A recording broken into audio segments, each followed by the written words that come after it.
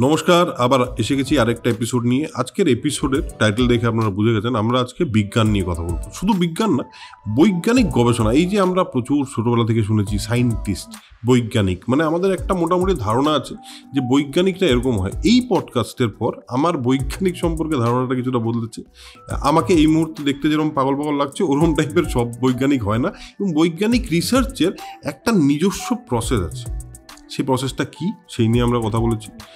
PhD এই কথাটা আমরা বারবার শুনি ডক্টরেট কথাটা শুনি। এই ডক্টরেট করতে গেলে কি করতে হয়? এবং তার প্রসেসটা কি? এবং সেটাকে সায়েন্সের পার্সপেক্টিভ থেকে দেখেছি। আমার সঙ্গে আজকে এই আড্ডাটা মেরেছে হলো সাত্তকী বিশ্বাস। সাত্তকী বিশ্বাস একজন সিনিয়র ফেলো রিসার্চার তো সে একটা বিষয় নিয়ে রিসার্চ করছে। আমরা তার সঙ্গে কথা বলেছি, খুবই ইন্টারেস্টিং কথাবার্তা হয়েছে। আশা করি আপনাদের খুব ভালো ভালো লাগবে। So let start the episode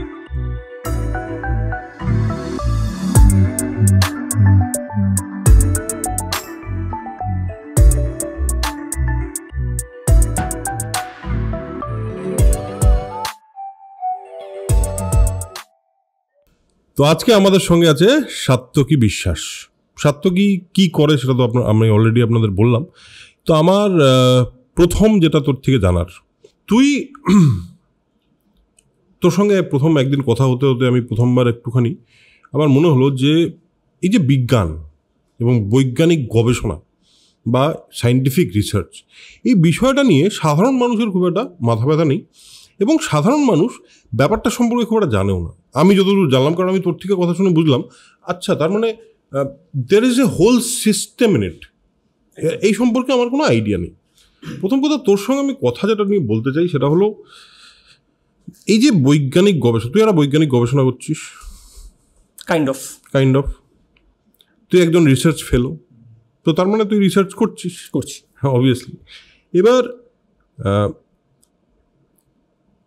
তোর ফিল্ড অফ সায়েন্সে তোর যে যে, এই যে সায়েন্সের এত বড় একটা ফিল্ড তার মধ্যে পার্টিকুলারলি কোন ফিল্ডটা তোর সেটুকু শুধু জানতে চাইব? কী নিয়ে গবেষণা করছিস সেটা জানতে চাইব না, কারণ জানার মানে জানার কথাও না বোধ আমাদের। কিন্তু কি বিষয়ে গবেষণা করছিস? এবং দ্বিতীয় কথা, হঠাৎ এই দিকে আসলি কেন? মানে বৈজ্ঞানিক গবেষণাটা চুজ করলি কী করে তুই? তুমি যেটা বললে আর কি মানে আমারও কোনো আইডিয়া ছিল না অ্যাটলিস্ট হায়ার সেকেন্ডারি পর্যন্ত ছিল না। নর্মালি বাঙালির ঘরে যেটা হয় ডাক্তার বা ইঞ্জিনিয়ার আর যদি সেটা ফসকে গেল তাহলে আইএস তাছাড়া তো আর কিছু থাকে না আমাদের এখানে। আমারও তাই ছিল ওরকমই একটা। তারপরে আমি গ্র্যাজুয়েশনে ভর্তি হলাম, পড়াশুনো করছি। পরে দেখা যাবে যা হয় করে আর কি। তারপরে সেই শেষের দিকে এসে আস্তে আস্তে এই জানতে পারলাম যে আচ্ছা মানে বিজ্ঞান নিয়েও চর্চা করা যায় এবং সেটার একটা পদ্ধতি আছে। তো প্রথমে যেহেতু জানতাম না, যে সব কিছু হাতের বাইরে মনে হতো, যে ওসব তো আমাদের হাতের মধ্যে নেই আর কি।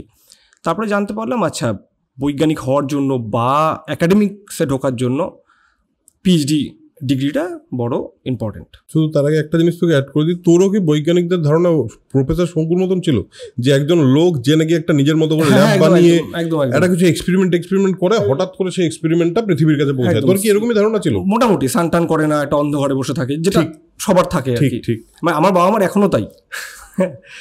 যাই হোক তো তারপর আস্তে আস্তে জানতে পারলাম যে এটার মধ্যে আসার উপায়গুলো কি।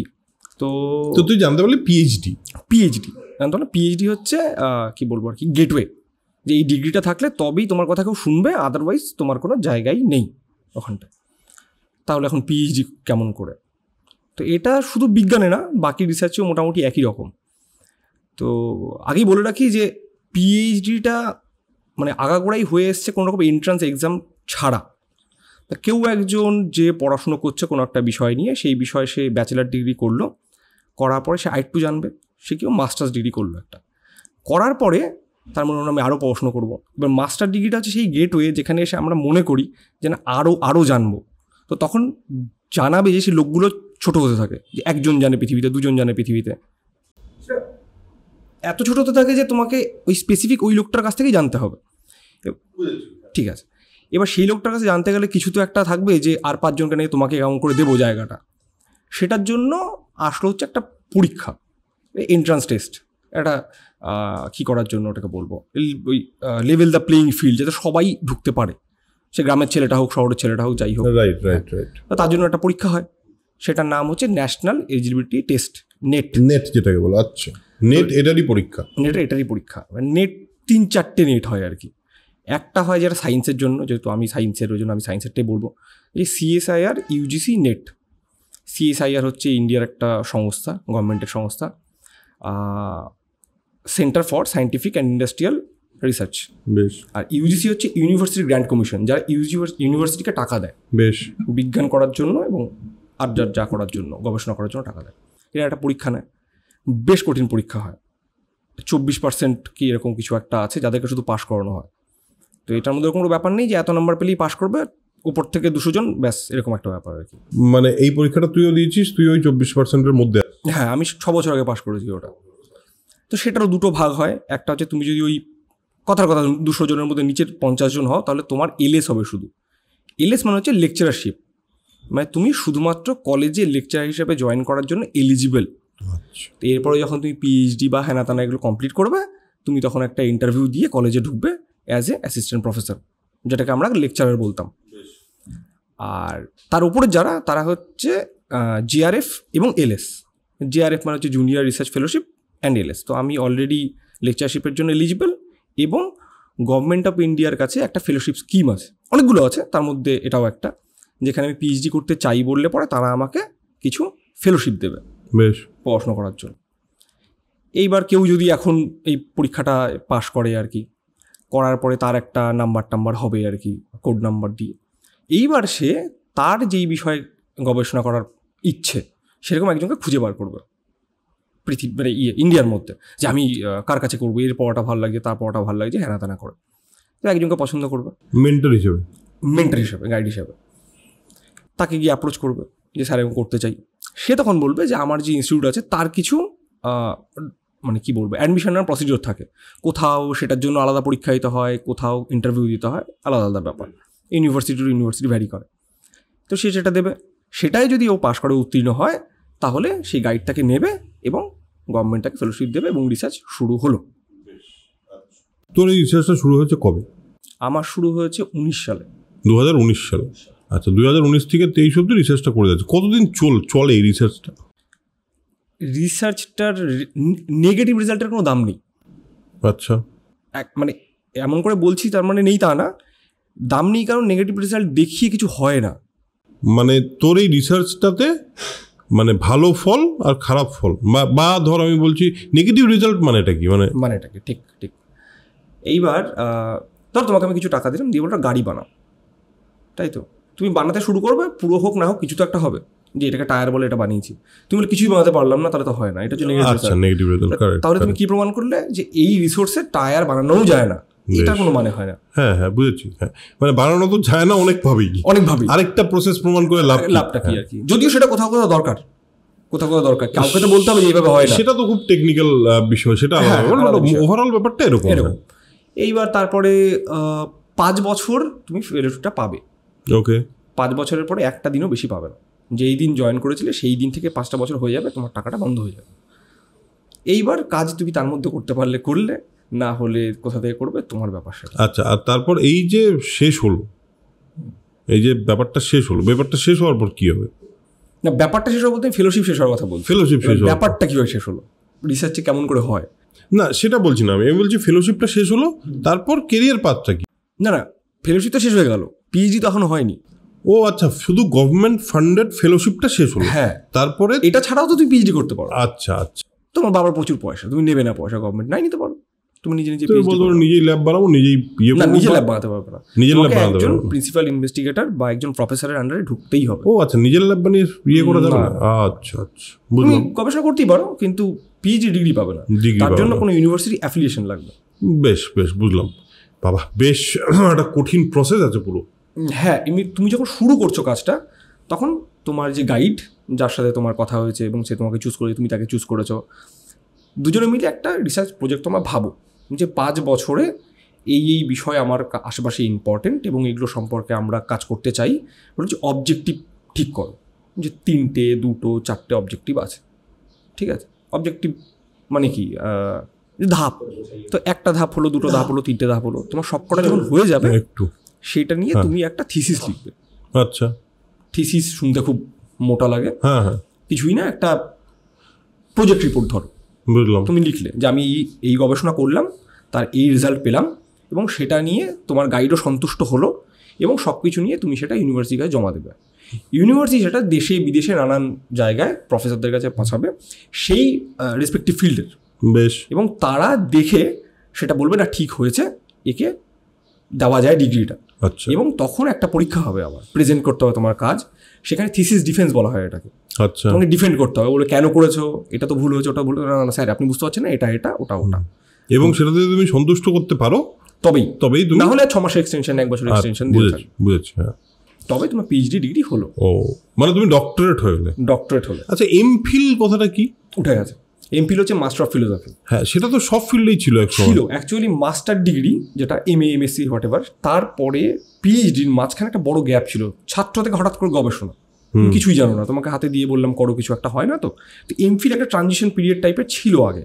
যে এক বছরের একটা কোর্স হবে যাতে তুমি একটু একটু ছাত্র থাকবে একটু একটু গবেষক থাকবে একটু শিখে যাবে দেন তুমি পিএইচডিতে যাবে। এবং এই এমফিলের ডিগ্রিটার গুরুত্বও ছিল পরবর্তীকালে রিক্রুটমেন্টের জন্য।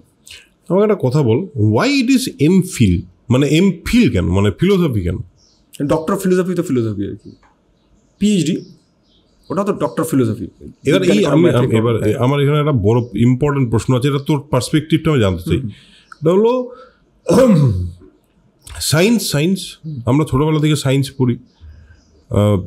ধর যে তোর অ্যাস্ট্রোনমি নিয়ে গবেষণা করছে যে নাকি কেমিস্ট্রি নিয়ে গবেষণা করছে সায়েন্সেরও আলাদা আলাদা পার্ট বিভিন্ন রকম পার্ট তাছাড়া সাহিত্য। সে নিয়েও গবেষণা করতে পারে কেউ। কেউ কোনো মহাকাব্য নিয়েও গবেষণা করতে পারে সব কিছু সব কিছু আলটিমেটলি ফিলোসফিতে কী করে মিট মিট করছে? কেন মিট করছে? আমার পার্সোনাল ধারণাটা তোকে বলে দিই। আমার মনে হয় যে everything in this world connects to as one place মানে একটা প্লেনে গিয়ে ব্যাপারটা মিলে যায় যেখানে it's about your works philosophy এটা আমার মনে হয়। তোর কি মনে হয়? কেন এটা ফিলোসফি এটার ইটাইমোলজিক্যাল ব্যাপারটা আমি জানি না যে কোথা থেকে নামটা এলো। তবে মোটা মোটা ব্যাপারটা এটাই যে তুমি যখন কোনো একটা জিনিস গবেষণা করছ এই মহাকাব্য হতে পারে অঙ্ক হতে পারে বিজ্ঞান হতে পারে ইতিহাস হতে পারে গবেষণা গবেষণা করছ বিজ্ঞান না গবেষণা তখন কোথাও না কোথাও তোমাকে কি নতুন রাস্তা বানাতে হচ্ছে একটা যেটা আগে না কোথাও ছিল না। তো তার মানে তুমি একটা কোনো জিনিসকে নতুনভাবে দেখা শুরু করলে। হুম। তাই ঠিক তো? তুমি যখন কোনো জিনিসকে নতুনভাবে দেখা শুরু করবে সেটাই তো দর্শন সেটাই তো ফিলোসফি যে আমার একটা পার্সপেক্টিভ অ্যাড হলো মানব সভ্যতায় এবং আমার পরে যারা আসবে তারা সেইভাবেও দেখতে পারবে। ঠিক। মানে সেটা একটা নতুন পাথ তৈরি করলাম। হ্যাঁ একদম। নতুন পাথ অফ ফিলোসফি তৈরি করলাম। আমি একটা ফিলোসফি তো তৈরি করলাম। মাইক্রো লেভেলে হ্যাঁ। কিন্তু হ্যাঁ। হ্যাঁ মানে একদমই তাই। এই সব মাইক্রো ফিলোসফি জুড়েই তো একটা বড় ফিলোসফি তৈরি হয়। তো ঠিক আছে আমি বুঝলাম মানে এটাই কারণ বোধ হয়। মানে মোটা মোটা ভাবে এইভাবে এইরকম বোঝা যায়। এবার পিএইচডি তো হয়ে গেল। পিএইচডি হয়ে গেল কেউ একটা ডক্টরেট পেয়ে গেল। তুই যে বললি সবাই মিলে বলল হ্যাঁ ঠিক আছে। তুমি তোমাকে ডক্টরেট দেওয়া যায়। তারপর কি? হাউ দ্য কেরিয়ার প্রগ্রেসেস মানে সায়েন্সের কেরিয়ারটা কি? হ্যাঁ এইবার এতক্ষণ ধরে আমরা একাডেমিক্স নিয়ে কথা বলছিলাম। মানে বাংলা ইংরেজি ইতিহাস ভূগোল অঙ্ক সবেতেই ডক্টরেট এবার সায়েন্সের ডক্টরেটে আসতে হবে এখানে কথা বলতে হলে। কারণ তার বাইরে ফিল্ড আমি জানি না। বেশ। সায়েন্সের দুটো রাস্তা থাকে আর কি। আরও গবেষণা আর না হলে চাকরি বাকরি চাকরি বাকরিটা কী চাকরি সেটা আগে বলিনি। সেটা হচ্ছে ওই কলেজের প্রফেসর বা ইউনিভার্সিটির প্রফেসর তো তার হওয়ার জন্য একটা পরীক্ষা হয় আবার। যদিও তুমি এলএস অলরেডি কিন্তু করে নিয়েছো ওর সাথে। তো তোমার জন্য আর কোনো দিন কোনো লিখিত পরীক্ষায় বসতে হবে না। আচ্ছা। শুধু ইন্টারভিউ হবে। আচ্ছা। মানে বলা যেতে পারে এক প্রকার ভাবে তুমি eligible to be a lecturer এক প্রকার না একদম টেকনিক্যালি টেকনিক্যালি তুমি এলিজিবল এলিজিবল হ্যাঁ। তুমি প্রফেসর হওয়ার জন্য তৈরি। বেশ। এবার তোমার চাকরি হবে না। মানে হওয়া সম্ভব না কারণ আরও বাকিরা যারা তারা অনেক বেশি গবেষণা করে এসছে। এবার তার একটা একাডেমিক পয়েন্ট ইন্ডেক্স হয়। আচ্ছা। যে অনেক দূর পড়ে এসছে তাকে তো প্রায়োরিটি বেশি দেওয়া হবে বেশি জানে। তো ওই জন্য ওরকম ফ্রেশ ক্যান্ডিডেটের জব হওয়াটা খুব কঠিন নেক্সট টু ইম্পসিবল আর কি। তাহলে থাকল আরও গবেষণার দিকে। এবার কিছু লোক থাকে তারা কলেজে পড়াবই না দিয়ে শুরু করে আর কি যে আমি গবেষণাই করব। তার ক্ষেত্রে একটা টার্ম শুনতে পাই পোস্ট ডক হুম। এখন এটার একটা ভয়ঙ্কর বিষয় পোস্ট ডক্টর আবার কী হয়? তো পিএইচডির উপর কোনো ডিগ্রি হয় না। এটা লাস্ট ডিগ্রি লাস্ট ডিগ্রি তা পোস্ট ডকটা কি? পোস্ট ডকটা কিছুই না। ধরো একজন প্রিন্সিপাল ইনভেস্টিগেটর আছে একটা ইউনিভার্সিটিতে বড় ইউনিভার্সিটি বড় ল্যাব তার প্রচুর স্কলার প্রচুর পিএইচডি স্টুডেন্ট আর কি। সবাইকে তো একা দেখতে পারে না। এবার সবাইকে যদি একাও দেখে তার সাথে কিছু সাইমেলটেনিয়াস প্রজেক্ট উনি আনতে থাকেন। যে আমি আরও কিছু জিনিস নিয়ে দেখব। তো এই প্রজেক্টগুলো আনার সময় সাথে একজন করে ফেলেও তিনি নিতে পারেন হায়ার করতে পারেন আর কি। তার অ্যাসিস্ট্যান্ট হিসেবে? অ্যাসিস্ট্যান্ট না কো কো রিসার্চার হিসেবে। কো রিসার্চার হিসাবে তো আর এ বলা হয় রিসার্চ অ্যাসোসিয়েট বলা হয় তো ওই পিএইচডি যারা করবে তারাই সেটাতে অ্যাপ্লাই করতে পারে। সে একজন গাইড যে প্রিন্সিপাল ইনভেস্টিগেটর তার ল্যাবটা বড়। তো তার একজন সহকারী গবেষক দরকার। সে তখন ওই অ্যাডভার্টাইজ দেবে আর কি। তো সেখানে একজন পিএইচডি করা যে আছে সে অ্যাপ্লাই করবে এবং তারা নিজের একটা প্রজেক্ট লিখবে একসাথে। আচ্ছা। ঠিক আছে? বেশ। কো রিসার্চার হিসাবে। তো ওখানে রিসার্চ অ্যাসোসিয়েট হিসাবে ঢুকবে সে। রিসার্চ অ্যাসোসিয়েট হিসাবে। হ্যাঁ এটাকে আমরা পোস্ট ডক এক্সপিরিয়েন্স বলি সাধারণত ইটস নট এ ডিগ্রি মানে যে জবের অপরচুনিটির কথা বলছিলাম আমরা তাতে রিসার্চ অ্যাসোসিয়েট একটা job opportunity it's not a job তাহলে এটা কি? এটাই তো মজার ব্যাপার। এটা ছ মাস থেকে এক বছরের একটা টেম্পোরারি জব ধরো। আচ্ছা। এই ছ মাস থেকে এক বছর ওটা ধরে নিচ্ছি ওই কাজটা করতে ওদের সময় লাগবে বলে ওটা ধরে নিয়েছি। বেশ। ছ মাস হয়ে গেল কাজ যদি হয়ে গেল বাদ যদি না হয় ওগুলো এক্সটেনশন বা নতুন প্রজেক্ট তো এটাকে অনেকে পোস্টডক সাইকেল বল। আচ্ছা। সাধারণত আমাদের দেশে একটু কমই করে লোকজন পোস্টডকটা একটু কম করে। তার মানে এই না যে এখানে খারাপ বা কিছু লোকে চায় যে একটু বিদেশে যদি যাই ফার্স্ট ওয়ার্ল্ড কান্ট্রিতে কাজ হয় কিছু শিখে আসতে পারব এবং এটাকে একাডেমিকরাও একটু ইয়ে দেন প্রাধান্য দেন। কারণ দেশের বাইরে ওখানে অন্য ধরনের প্র্যাকটিসেস থাকবে তো শিখে দেশেই তো আসবে। চেষ্টা করা হয় আর কি। তো পোস্টডক সাইকেলটার একটা খারাপ দিক রয়েছে যেটাকে বলা হয় রিসার্চ নিয়ে সবাই জানে এটা সায়েন্সে যে একবার ওখানে ঢুকে গেলে ওখান থেকে বেরোতে যাচ্ছে না কেউ। কারণ বেরোতে যাচ্ছে না সে হচ্ছে স্যালারিটা ভালো। আচ্ছা। আবার বেরোতে পারছেও না কেউ। ওর অলরেডি অনেক বয়স হয়ে গেছে কোন চাকরি করবে এখানে আচ্ছা তো ওই লুপটার মধ্যে পড়ে যাচ্ছে লুপটার মধ্যে পড়ে যাচ্ছে। কিন্তু পার্মানেন্ট কোনোদিন জবও হচ্ছে না পার্মানেন্ট ছ মাস ছ মাস এরকম এরকম ছ মাস কারুর বা এক বছর এক বছর এক বছর। আমি এমনও একজনকে দেখেছি ছ বছর ধরে পোস্টডক করেছে আর কি। তারপরে দেশে এসে জব পাচ্ছে না। যদিও তারপরে উনি জব পান একজন ইউনিভার্সিটিতে এখন প্রফেসর কিন্তু অনেকে পায় না। তারা রিসার্চ যেই ইয়েগুলো থাকে ফার্মাকোলজিক্যাল কোম্পানিগুলো থাকে বা এগ্রিকালচার রিসার্চ কোম্পানি থাকে কিছু সেখানে যায়। বায়োমেডিক্যাল জেনোমিক্স কিছু কোম্পানি থাকে আমাদের এখানেও আছে কলকাতায় তো সেখানে গিয়ে জয়েন করে অ্যাজ এ হেড রিসার্চার বা কিছু। বেশ। তো এটাও একটা ব্যাপার। কিন্তু সমস্যাটা এখানেই যে আমাদের দেশে পিএইচডি তুমি করেছ বলেই তোমার কোনো চাকরি হবে এরকম কোনো ব্যাপার নেই। আমাদের দেশে নেই মানে অন্য দেশে আছে বলছিস? অন্য দেশে আছে বলতে অপরচুনিটি একটু বেশি আর লোক সংখ্যা একটু কম। আচ্ছা। তো সেই দিক দিয়ে আছে। মানে আমাদের দেশ ভিসিয়াসলি কিছু খারাপ করছে তা নয়। সিস্টেমটা একটু এরকম হয়ে গেছে। আমাদের এত পপুলেশন তার মধ্যে এত পিএইচডি হচ্ছে এবং তাদের একটা পপুলেশনের একটা পার্সেন্টেজ তো ভালো পড়াশোনা করবেই সেটা খুব স্বাভাবিক হ্যাঁ। ব্যাপার। তো সেটা নিয়ে একটু কম্পিটিশন আছে হ্যাঁ, একটু এই জায়গাটা সমস্যা। তাছাড়া ভালো পড়াশোনা করা যায় করলে পরে। তো এটা একটা গেল। আর একটা কেরিয়ার অপরচুনিটি অনেকেই এখন যেটা করছে সেটা হচ্ছে স্টার্ট আপ হুম। ঠিক আছে? ধরো এমন একটা কিছু বিষয় নিয়ে গবেষণা করল যেটা থেকে ও ডিরেক্টলি কিছু একটা প্রোডাকশন করতে পারছে ধরো। মানে কোনো একটা প্রোডাক্ট ক্রিয়েট করতে পারছে কোনো একটা ইনোভেশন থেকে। সবসময় যে ইনোভেশন হতে হবে তাও না ধরো একটা প্রসেসও জানতে পেরেছে যেটা অনেক আচ্ছা, চিপলি করা যায়। হয়তো এক্সিস্ট আচ্ছা, করতো আচ্ছা, আচ্ছা। কস্ট কাটিং করতে পেরেছে। তো ওটা দিয়ে একটা স্টার্ট আপ করল। এটাও একটা বড় জায়গা এখন। আচ্ছা আচ্ছা। মানে লোকে অন্টারপ্রেনারশিপের দিকে যাচ্ছে বলছি হ্যাঁ, কিছু কিছু ক্ষেত্রে তো যাচ্ছেই। কিছু ক্ষেত্রে এবং খুব ভালো মনে হয় আমার এটা। এটা ক্রিয়েটিং জব অ্যাকচুয়ালি আমার মনে হয় ওভারঅল অন্টারপ্রেনারশিপের যে হাওয়াটা ইন্ডিয়ায় অনেক বেশি বেড়েছে কিন্তু রিসেন্ট একদম একদম। শার্ক ট্যাঙ্ক দেখলে বোঝা যায় অ্যাটলিস্ট যে প্রচুর অন্টারপ্রেনার্স চারিদিকে আমরাও দেখতে পাই আমাদের আশেপাশে। তো এইগুলো হলো কেরিয়ার অপরচুনিটি তাই তো। বেশ। আচ্ছা এই যে গবেষণাটা হয় এই যে লোকে গবেষণা করছে এবার করা তো শুরু করল।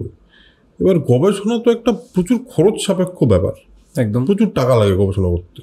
এবার সেটা মানে সেটা কি গভর্নমেন্ট দেয়? বা সেটা দিলে সেটার প্রসেসটা কি? হুম এটা ভালো কোশ্চেন একটা। এখন এই ধরো পিএইচডির কথা, তো একজন স্টুডেন্ট পিএইচডি স্টুডেন্ট হিসেবে স্কলার জয়েন করল একটা ল্যাবে তো সেই ল্যাবটা নিশ্চয়ই কোনো একটা ইউনিভার্সিটির আন্ডারে এবং সেই ল্যাবের যে খরচাপাতি যা হবে সেটা ইউনিভার্সিটির দেওয়া উচিত কিছু ক্ষেত্রে। সেই বাবদ ইউনিভার্সিটি বছরে পঞ্চাশ থেকে ষাট হাজার টাকা দেয়। কম বেশি থাকে আর কি মানে বছরে বছরে কাগে মানে রিসার্চ যে করছিস তাকে? না না না না না তার গাইডকে আচ্ছা। তার গাইডের আন্ডারে হয়তো চারজন রয়েছে পাঁচজন রয়েছে আটজন রয়েছে।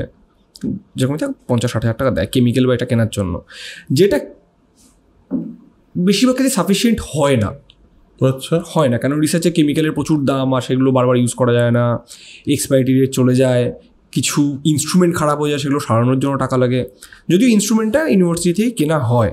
ওকে সেটার জন্য ইউজিসি যে বলেছিলাম আগে ইউনিভার্সিটির গ্র্যান্ড কমিশন সে ফান্ড করে। গ্রান্ট দেয়। গ্রান্ট দেয় ঠিক। এবার রিসার্চেরও গ্রান্ট হয় একটা। কেমন করে হয়? তো যে প্রফেসর সে একটা গ্রান্ট লিখবে একটা প্রজেক্ট লিখবে যে আমি অমুক জিনিসে অমুকটা করে দেখতে চাই যে কি হচ্ছে এবং তার পোটেনশিয়াল এই এই উপকার রয়েছে তাতে এই ভালো হবে। উনি লিখে টিখে এটা ফান্ডিং এজেন্সিকে পাঠান। ফান্ডিং এজেন্সি কী কী আছে বিজ্ঞানের? ইন্ডিয়াতে একটা ইউজিসি যেটা মেনলি আর্টসের গবেষণার জন্য দেয় কিন্তু সায়েন্সের জন্য দিয়ে থাকে। বেশ। আর আছে ডিএসটি ডিএসটি হচ্ছে TST DST department of science and technology গেল। আর হচ্ছে ডিবিটি ডিপার্টমেন্ট অফ বায়োটেকনোলজি আচ্ছা। গেল। বেশ। আর হচ্ছে ICMR Indian council of medical research আচ্ছা এরা কি এক একটা পার্টিকুলার দিকে ফান্ড করে? হ্যাঁ কিন্তু ওভারল্যাপও হয়। আচ্ছা মানে অ্যাকচুয়ালি তো হ্যাঁ মানে কোনটা যে মেডিকেলের এক্স্যাক্টলি সেটা সেটা বোঝা যায় না। এই ব্যাপারটা আসছি পরে আমরা এটা নিয়ে একটা সমস্যা তৈরি হয়েছে আর কি যেটাকে অ্যাড্রেস করা হচ্ছে কিন্তু দেখা যাক কী হয় আর কি। যাই হোক তো এরকম ফান্ডিং এজেন্সি রয়েছে। আরও একটা আছে আইসিআর তারা ইউনিভার্সিটিতে করে না তারা এগ্রিকালচার ইউনিভার্সিটি যেগুলো KV UB KV Uttarbanga Krishi Viswavidyalaya হ্যাঁ, হ্যাঁ, হ্যাঁ, বিধানচন্দ্র কৃষি বিশ্ববিদ্যালয় সেইগুলোতে ফান্ডিং করে। সেটা হচ্ছে ICAR Indian council of agriculture research okay ঠিক আছে? এইবার সেই যে গাইড যে ল্যাবটা চালাচ্ছেন উনি ওই প্রজেক্টটা লিখলেন লিখে ওনার মনে হলো তরকারি খাতে ধরে নিচ্ছি ডিবিটি ডিপার্টমেন্ট অফ বায়োটেকনোলজিকে দিলেন। যে আমরা এটা এটা এটা করতে চাই। বাট সেখানে তাকে ডিফেন্ড করার জন্য ডাকা হবে। উনি যাবেন উনি গিয়ে প্রেজেন্টেশন দেবেন বোঝাবে যে না হ্যাঁ আমাকেই দেওয়া হোক টাকাটা। এবার সেখানে কম্পিট করতে হয় তাকে অন্যান্য পিআইদের সাথে অন্যান্য গাইডদের সাথে। নানান ইউনিভার্সিটির প্রফেসররা সেখানে আসবেন। টাকা তো সীমিত কে পাবে? তো আচ্ছা। এমন ব্যাপার না যে এক একজনকেই টাকা দেয় সে দেখা দেখা গেল দুশো জনকে দিচ্ছে কিন্তু সেই টাকাটাও তো লিমিটেড অ্যাপ্লাই করছে হয়তো সেখানে পাঁচশো জন। ও আচ্ছা মানে সবাই টাকা পাচ্ছে না ফান্ড পাচ্ছে না সেই বছর পাচ্ছে না? ও তো পরের দু বছর পর আবার অ্যাপ্লাই করল। এবার যে যত আচ্ছা, ভালো আচ্ছা, কাজ করবে সে তত যার- বেশি ফান্ডেড যার কাজের প্রোগ্রেস যত বাড়বে তত। মানে এটা মানে স্কুলের রেজাল্টের মতো। একদম রেজাল্ট বাড়লে বাবু তোমাকে এরপর কিন্তু সাইকেল কিনে দেবো। এরকম টাইপের ব্যাপারটা। হ্যাঁ। একদম একদম একদম। আর সেটাই করা উচিত যে প্রমিসিং তাকেই তো দেবে। ঠিক। গভর্নমেন্টেরও তো ফান্ড লিমিটেড এমন তো না যে কোথা থেকে নিয়ে আসছে লিমিটেড আমাদেরই সরকারি টাকা মানে জনসাধারণের টাকা। আচ্ছা তাকে দেওয়া হলো। উনি এলেন উনি এসে তা দিয়ে কিছু ইনস্ট্রুমেন্ট কিনলেন, কিছু কেমিক্যাল কিনলেন, জিনিসপত্র কিনে সেই প্রজেক্টটা কমপ্লিট করলেন। করে সমস্ত রিপোর্ট টিপোর্ট পাঠালেন এবং সেটা দিয়ে কিছু উন্নতিও হলো। এইবার আপনার কাজ করার জন্য ওনার কাজ করার জন্য ধরুন এক- একটা কৌটো লাগল কোনো একটা কেমিক্যালের এবার তুমি তো পুরো কৌটোটা ইউজ করছ না। কিছু তো বেঁচে যাচ্ছে। সেটা অন্যান্য গবেষণার কাজে লাগছে এবং সেটা তো ভালো জিনিস ফেলে তো দিচ্ছি না আমরা। না না একদমই ভালো জিনিস হ্যাঁ হ্যাঁ। এক চামচ লাগলে তো এক চামচ কেমিক্যাল কেউ কিনতে যাবে না সে কৌটোই কিনবে। বাকিটা দিয়ে ওই ল্যাবের ফান্ডিং হচ্ছে। আচ্ছা। তো কিছুটা এইভাবে হয় ইউনিভার্সিটিগুলোতে আইআইটিগুলোতে একটু অন্যরকম স্ট্রাকচার তাদেরকে ডিএসটি মেনলি ফান্ড করে। আর ইউনিভার্সিটিগুলোতে ইউজিসি ফান্ড করে কেউ ডিবিটি ফান্ড করে ডিএসটি ফান্ড করে এটা চলছে আর কি। এইবার ফান্ডটা করে যে টাকাটা এলো সেই টাকাটা ইউটিলাইজেশন ঠিক মতন হচ্ছে কিনা সেটা খুব কড়াভাবে দেখা হয়। এবং বেশিরভাগ ক্ষেত্রেই হয় দু একটা ব্যাড অ্যাপেল ছাড়া ঠিকঠাক মতন হয়। বেশ। সমস্যাটা কোথায় হচ্ছে? একই প্রজেক্ট একই জিনিস কম বেশি একই জিনিস আর কি। যে আমি ধান গাছের মধ্যে অমুক জিনিসটা দেখতে চাই। এবার এখানেও একজন কেউ বলল হায়দ্রাবাদেও একজন বলল সে গিয়ে ডিএসটির কাছে গেল এই ডিবিটির কাছে গেল দুজনই ফান্ড হয়ে গেল। দুজনই কাজটা করল যখন পাবলিকেশন হলো দুজনই একই কাজ হচ্ছে। তো এইখানে কিছু ফান্ড এদিক ওদিক হচ্ছে পয়সা। আচ্ছা। যেটা কোনো বাজে দিক না শুধু ম্যানেজমেন্টের ভুলের জন্য। তো এখন সেন্ট্রাল গভর্নমেন্ট চেষ্টা করছে যে এই ইয়েগুলোকে এন্টিটিগুলোকে একটা ছাদের তলায় আনতে। এবং একই রিসার্চে দুবার তিনবার করে টাকা না টাকা না যায় ইভেন যদি এরকম হয় দুটো পিআই দুজন পিআই ইন্টারেস্টেড দুজনকে একটা ডাবল ফান্ড দিয়ে দেওয়া হলে দুজন মিলে কাজ করো একটা যে দুটো হ্যাঁ, পার্ট করো তাহলে আরও মানে প্রিসিশনটা বাড়বে। তো এটা তো একটা ভালো জিনিস মানে এটা যদি স্টেপটা না হয় দারুণ জিনিস। কোনো সিস্টেম পারফেক্ট হয় না। হ্যাঁ। এই সিস্টেম একদমই পারফেক্ট না। কিন্তু বারবার চেষ্টা করা হচ্ছে করে করে কেমন করে ভালো করা ট্রায়াল এন্ড এরর করে করে করে করে ব্যাপারটাকে দেখা হচ্ছে বেশ এটা হলো মোটামুটি ফান্ডিং এর ব্যাপার। ফান্ডিংয়ের ব্যাপার। এবার প্রাইভেটলি ফান্ডেড রিসার্চ হয় না এমনটা নয়। কিছু বায়োটেক কোম্পানি আছে। সেটা কি ভাই প্রাইভেটলি ফান্ডেড রিসার্চ মানে কিন্তু শুনলেই মনে হয় একটা গোপন জায়গায় একটা গোপন কিছু একটা তৈরি হচ্ছে নিউক্লিয়ার ওয়েপন টেপন এরকম জিনিস কি হয় নাকি অ্যাকচুয়ালি কিছু কিছু জিনিস নিয়ে কাজ করা যায় না। আচ্ছা। তুমি নিউক্লিয়ার ওপেন কথাটা তুমি বললে আর কি। তো রেডিও অ্যাক্টিভ ম্যাটেরিয়াল নিয়ে তুমি কাজ করতে গেলে রেডিও অ্যাক্টিভ ম্যাটেরিয়ালটা তোমাকে কিনতে হবে তো প্রকিওর করতে হবে। তোমাকে বিক্রি করা হবে না পার্টিকুলার লাইসেন্সিং ছাড়া। তো ওটা নিয়ে কাজ করা অসম্ভব ব্যাপার। আচ্ছা। কারণ তুমি তো বোমা বানাতে পারো আমি তো জানি না। ঠিক। হ্যাঁ তো ওটা হয় না। আর সাধারণত এই ধরনের কাজগুলো এই বায়োটেক কোম্পানিগুলো এখন খুব হচ্ছে। ব্যাঙ্গালোর বেস্ট প্রচুর বায়োটেক কোম্পানি আছে বাইরে থেকে এসছে তারা। তারা ওই ডিএনএ ওরিয়েন্টেড আর এন ওরিয়েন্টেড কাজ করছে। এই ধরনের কাজগুলো করছে আর কি। মানে প্রাইভেট ফান্ডেড প্রাইভেট ফান্ডেড এই ব্যাপারটা শুরু হয়েছিল অ্যাকচুয়ালি ইউএসএতে একটা আমাকে কথা বলি প্রাইভেট ফান্ডেড রিসার্চ তো মেডিকেল কোম্পানিরাও করে। করে তো মানে ফার্মা হ্যাঁ করে করে করে তো করে করে করে। তুই কি বলছিলি? এবার ফার্মা কোম্পানিগুলোর রিসার্চটা মানে পুরো ওভারশ্যাডো হয় আইসিএমআর দ্বারা। কারণ সেটাও পোটেনশিয়াল হ্যাজার্ড হ্যাঁ হ্যাঁ হ্যাঁ। কিন্তু তারা কিন্তু ড্রাগ ডেভেলপমেন্টটা পুরো আলাদা জিনিস। মানে এর সাথে একাডেমিক্সের কোনো সম্পর্ক নেই। সম্পর্ক নেই। মানে ওটা একটু আলাদাই ব্যাপার। হ্যাঁ। ড্রাগ ডেভেলপমেন্টটা পুরো আলাদা। তার। ভেতরের জটিলতা আলাদা রকম। এটা হচ্ছে আমি একাডেমিক রিসার্চের কথা বলছি গেল। আর প্রাইভেট ফান্ডের রিসার্চটা ভালো উদাহরণ হেড অ্যান্ড শোল্ডার আচ্ছা শ্যাম্পু কিটোকোনাজল ডেভেলপ করেছে ওরা অ্যান্টি ফাঙ্গাল ড্যান্ড্রফ তো অ্যাকচুয়ালি ফাঙ্গাসের থেকে হয়। হ্যাঁ স্কিনের মধ্যে ফাঙ্গাস হয় সেটাই উঠে আসে সেটাই ড্যান্ড্রফে দেখতে পাই। তো ওরা খুব মানে সবচেয়ে বেশি খরচা করে ওরা প্রাইভেটলি ফান্ডেড কোম্পানির মধ্যে রিসার্চ অ্যান্ড ডেভেলপমেন্টের পেছনে। আচ্ছা। তো এরকম। তাছাড়া কিছু কোম্পানি এখানে রয়েছে এখন এই যে আমরা এখন দেখতে পেলাম যে রিসেন্টলি প্রচুর প্রাইভেট ফান্ডেড কোম্পানি সিড বিক্রি করছে আর কি এগ্রিকালচারাল সেক্টরে যেটা ইন্ডিয়াতে খুব একটা মার্কেট ওরা গ্র্যাপ করতে পারেনি ইউএসএতে আছে তোমার শুনেছো কিনা? মনসেন্টো বলে একটা কোম্পানি আছে মনসেন্টো প্রচুর পিকেটিং ফিকেটিং হয় মনসেন্টোর বিরুদ্ধে। ভয়ঙ্কর রকম আজে বাজে সিট টিট দেয় পরিবেশের দিক থেকে খারাপ আর কি আজে বাজে বলতে মার্কেট দিক থেকে পরিবেশের দিক থেকে খারাপ। সেটাও ওপিন ওপিনিয়ন এর উপর ডিপেন্ড করে তুমি কাকে জিজ্ঞেস করছ আর কি। তো তারা একটা বড় অ্যামাউন্টের রিসার্চ করে আর কি প্রাইভেটলি ফান্ডেড প্রাইভেট ফান্ডেড বেশ। তুই অনেকবার এই কথাবার্তার মধ্যে আমরা পিআই টার্মটা শুনলাম। গাইড গাইড এই পিআই মানে কি? Personal principal investigator principal investigator আচ্ছা। এই প্রিন্সিপাল ইনভেস্টিগেটর যে সে তোর গাইড মানে ইউনিভার্সিটির প্রফেসরও হতে পারে কোনো একটা রিসার্চ ইনস্টিটিউটের সায়েন্টিস্টও হতে পারে। আচ্ছা এখানে আমার একটা বড় প্রশ্ন আছে সেটা হলো আমার ধর মনে হলো যে আমি এমন একটা বিষয় নিয়ে গবেষণা করব যে বিষয়টা নিয়ে কেউ এখন অবধি গবেষণা করছে না। হুম। হতে পারে তো ওটা হতেই পারে। তাহলে আমার এই মানে প্রিন্সিপাল ইনভেস্টিগেটরটা ডিসাইড কী করে হবে? আর দ্বিতীয় প্রশ্ন এটার সঙ্গেই কানেক্ট করে বলি আমি এই যে টপিক অফ রিসার্চটা এটা কে ডিসাইড করে মানে যে রিসার্চ করবে সে নাকি গভর্নমেন্ট নাকি কোনো বডি নাকি এই পিআই একদম। এইবার প্রথম কোশ্চেনে প্রথমে আসি আর কি যে আমার একটা বিষয় নিয়ে গবেষণা করার ইচ্ছে হলো।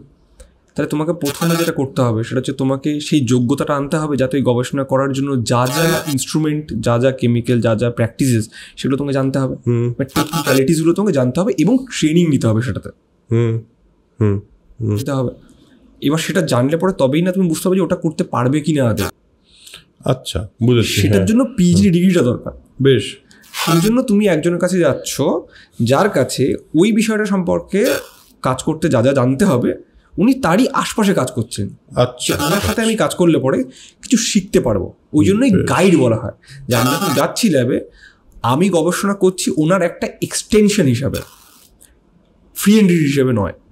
একদম একদম একদম। আর তুমি দ্বিতীয় কথাটা কি জিজ্ঞেস করলে যে টপিকটা কে চুজ করে? পিআই না গভর্নমেন্ট হ্যাঁ। ঘুরে ফিরে ফান্ডিং এজেন্সিরাই চুজ করে। কারণ ওই যে টপিকটা নিয়ে তো উনি যাচ্ছেন ওখানটায় গ্রান্ট আনতে। ঝগড়া করতে আর কি প্রেজেন্ট করতে। এবার ফান্ডিং এজেন্সি চুজ করবে না যে এই টপিকটা ভালো কেউ ওই টপিকটা ভালো ওই টপিকটা ভালো। উনি গেলেন একটা কিছু নিয়ে ওদের মনে হলো না এটার পেছনে খরচা করে লাভ নেই। পেলেন না। পরের বার একটু মডিফাই করে গেলেন। যতক্ষণ পর্যন্ত তাদের পয়- কেন আবার বলছি ফান্ডিংয়ের যে সোর্সটা সেটা খুব লিমিটেড হুম। এবার সেটাকে ঠিকঠাকভাবে ইউজ করতে হবে। এবং বেশি থাকলেও ঠিকঠাকভাবে ইউজ করা উচিত। একদম আর তোর ব্যাপারটা হলো এমন একটা জিনিস করা উচিত যাতে গভর্নমেন্টের জায়গা থেকেও গভর্নমেন্টে তো একটা একটা ব্যাপার আছে যে গভর্নমেন্টকে তো বুঝতে হবে যে কোন রিসার্চে টাকাটা দেওয়াটা জরুরি। কারণ ওর কাছে লিমিটেড ফান্ড তুই বললি। তো সেই ক্ষেত্রে চুজিংটা ওই ওইটার উপর ডিপেন্ড করে। হ্যাঁ ওরা যারা বসে আছেন তারা এক সময় গবেষণা করে গেছেন এখন তারা বিউরোক্র্যাট হয়ে বসে আছেন তারা জানেন যে কেমন করে চালানো যায় কোথাও। মানে ফুড সিকিউরিটি ইন্ডিয়ার বেশি ইম্পর্টেন্ট না ডিফেন্স হুম। ডিফেন্সের জন্য আমাদের ডিআরডিও আছে আর একটা ফান্ডিং এজেন্সি কোনটা বেশি দরকার? তাহলে তো this is very political political কিন্তু অ্যাকচুয়ালি গবেষণার জায়গাটা বিউরোক্র্যাটরাই চালান। মানে দেশটা তো বিউরোক্র্যাটরাই চালান ঘুরে ফিরে। পলিটিক্যাল বলতে আমি বলছি না যে পার্টি পলিটিক্যাল আচ্ছা না না হ্যাঁ হ্যাঁ হ্যাঁ হ্যাঁ একদম একদম। ওই পলিটিক্যালটা বটেই আর কি। মানে এই ধর তোমাকে আমি চিনি তুমি আমাকে চেনো। এবার আমি একজন পিআই তুমি একজন সেই ফান্ডিং এজেন্সির হেড এবার তুমি আর স্বজন পোষণ করলে না। হুম। করলে না কিন্তু অ্যাটলিস্ট তুমি আমাকে জানো। তো তুমি দেখো "আ, না এ না হয়তো কাজটা করতে পারবে। ওকে আমি দেখেছি আগে পারবে। এখন আরেকজন এলো যেহেতু আমার থেকে আরও বেটার কিন্তু তুমি তোকে জানো না। তুমি মানে একটা আনকনসিয়াস বায়াসই হয়তো আমাকে তুমি দিয়ে দিচ্ছ। তো এরকম কিছু পাওয়ার হাব প্রত্যেকটা ডিসিপ্লিনে তৈরি হয়। এটা তো তুই বলছিস ফর দ্য পাওয়ার প্লে আমি বলছি আরেকটু উপরের লেভেলের কথা। আমি বলছি যে একটা দেশের হুম। ঠিক কি কি গবেষণার প্রয়োজন? হুম। This is a very political idea কারণ একটা দেশ তার অস্ত্রের গবেষণার প্রয়োজন এই মুহূর্তে। তার কি নিউক্লিয়ার ওয়েপেনে ভারী হওয়া উচিত? মানে মানে এগিয়ে থাকা উচিত? নাকি তার এগ্রিকালচারকে এতটা এগোনো উচিত যে সমস্ত দিক দিয়ে তার ইকোনমি আপ হয়? নাকি তার এমন কোনো রিসার্চ করা উচিত যেটা মেডিসিনাল হতে পারে? হ্যাঁ এই যে পুরো ডিসিশনটা এই ডিসিশনটা তো একটা চূড়ান্ত পলিটিক্যাল ডিসিশন এবং পুরো ওয়ার্ল্ডের পলিটিক্স এর উপর ডিপেন্ড করছে। যেখানে আমার মনে হয় যেই কারণে এই যে মঙ্গল অভিযান মঙ্গল অভিযান নিয়ে তো এতগুলো ধরনের রিসার্চ চায়না আগে করে ফেলবে। তাই জন্য পলিটিক্যালি ব্যাপারটাকে ডিসাইড করা হয় না আমরা আগে করব। রাশিয়া আর ইউএস এর ব্যাপারে আমরা সবাই জানি চাঁদ নিয়ে চাঁদে যাওয়া নিয়ে একটা রিসার্চ নিয়ে একটা হুলস্থুল লেগে গেছিল ওদের মধ্যে। ওরা কে আগে চাঁদে পাঠাতে পারবে সেই নিয়ে একটা হুলস্থুল লেগে গেছে। তো রাশিয়া স্পুটনিক পাঠিয়েছিল আগে। এই তার মানে এই রিসার্চের ব্যাপারটার সঙ্গে একটা ওভারঅল বড় পলিটিক্সও জড়িত। আমরা খুব মাইক্রো লেভেলে দেখছি বিষয়টা। তুই একজন গবেষক। এরকম কয়েক হাজার এবং লাখ গবেষক আছে। বিভিন্ন সময় করেছে বা আগামীতেও করবে। এই পুরোটাই ডিপেন্ড করছে আসলে বোধ একটা ওভারঅল ওয়ার্ল্ড পলিটিক্সের উপর। হোয়াট ডু ইউ থিঙ্ক হ্যাঁ এবং এটা একটা উদাহরণ আমি তোমাকে একটা গল্প দিয়ে বলি। এটা অনেকেই জানে আইনস্টাইন আর এডিংটন। দুজনের একটা গল্প। তো আইনস্টাইন জার্মান ছিলেন আমরা জানি। আর এডিংটন একজন ব্রিটিশ ফিজিসিস্ট ছিলেন। ঠিক আছে? আমি কোন বিশ্বযুদ্ধ মনে করছে না? কোনো একটা। মানে দ্বিতীয়ই হবে। আইনস্টাইন যদি বড় হয়ে থাকে। প্রথম বিশ্বযুদ্ধের সময় একটু রিলিভেন্স পেয়েছিলেন হ্যাঁ কিন্তু প্রথম বিশ্বযুদ্ধের সময় দ্বিতীয় বিশ্বযুদ্ধের সময় ইয়াং অনেকটা হ্যাঁ, ইয়াং অনেকটাই বয়স দ্বিতীয় বিশ্বযুদ্ধের সময় ঘটনা। উনি সেই ইয়ে করলেন ওই রিলেটিভিটির থিওরি তো সেটাতে উনি নিউটনকে ভুল প্রমাণ করলেন আর কি। নিউটনিয়ান গ্র্যাভিটি থেকে বেরিয়ে এলেন। ঠিক। ঠিক আছে? এইবার ওয়ার এফোর্টের সময় ওই সবাইকে ওই ব্রিটিশ জার্মান যারা সাইন্টিস্ট একটা ইয়ে নেওয়া হয়েছিল। মানে সাপোর্ট কারা করছে হ্যানা তানা তো সেখানে আইনস্টাইনও সই করতে বাধ্য হয়েছিলেন আর কি যেটা গভর্নমেন্ট থেকে বলে দেশাত্মবোধ থেকে হোক যাই থেকে হোক। তো সেই জন্য উনি যখন নিউটনের ইয়েটাকে ভাঙলেন ব্রিটিশে খুব গায়ে লাগল আর কি। যেটা তো গালে থাপ্পড় হয়ে গেল আমাদের। নিউটন আমাদের একটা এত বড় গ্র্যাভিটির উনি ডেফিনেশন দিয়েছেন। এইটাকে এইভাবে করে ইয়ে করে দিচ্ছে এটা আমরা পছন্দ করছি না আর কি যাই হোক।